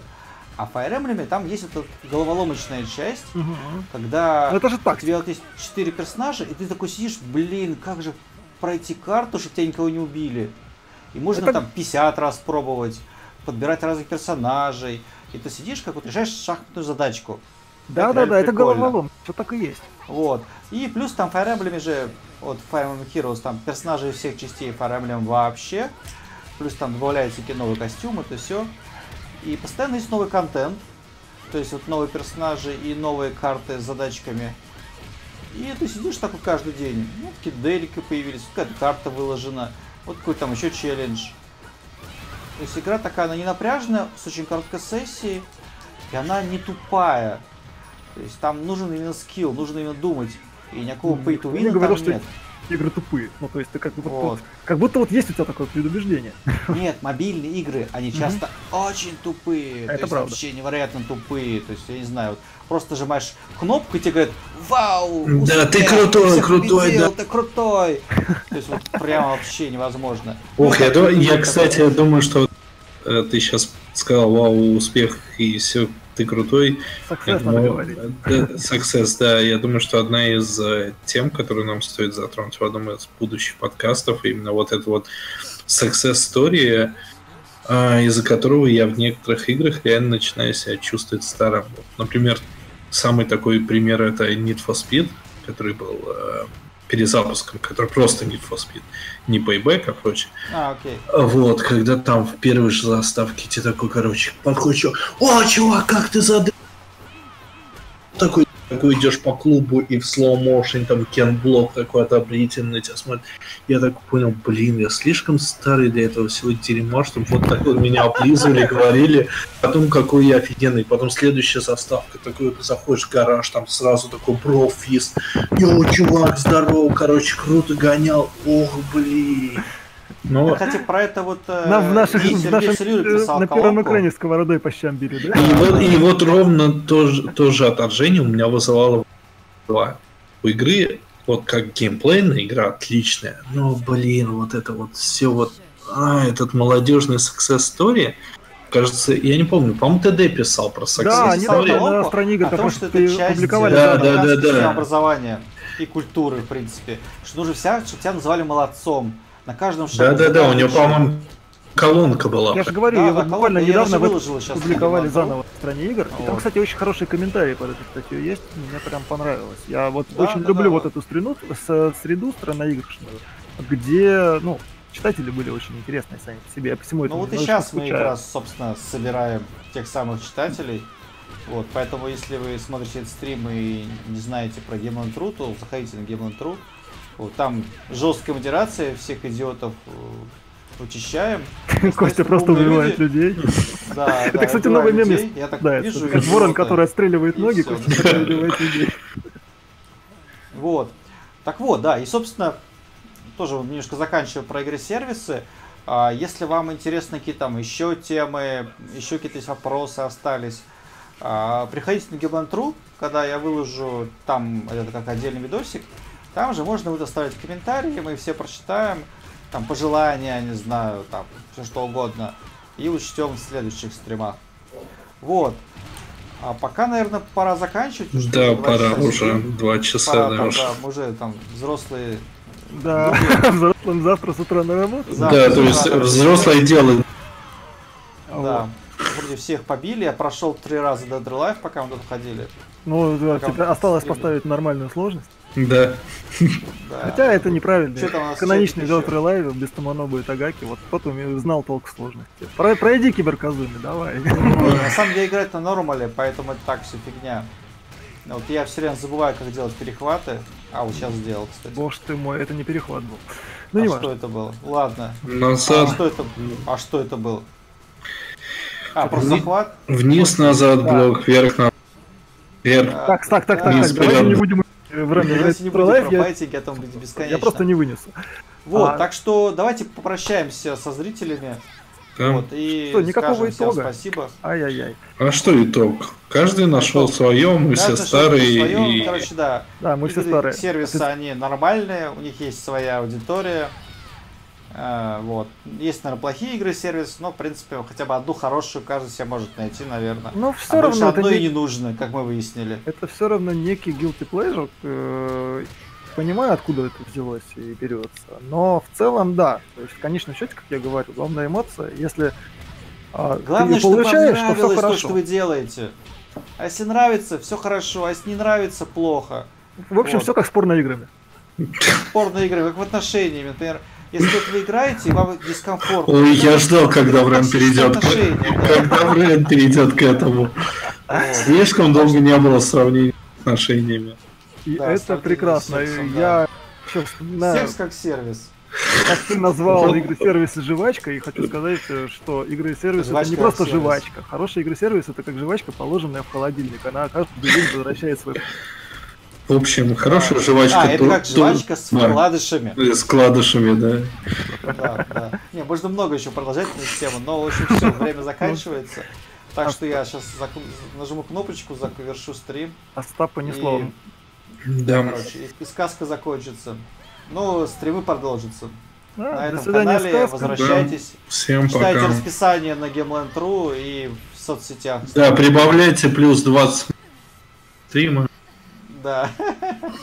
Ладно, все, всем пока. Да, всем пока.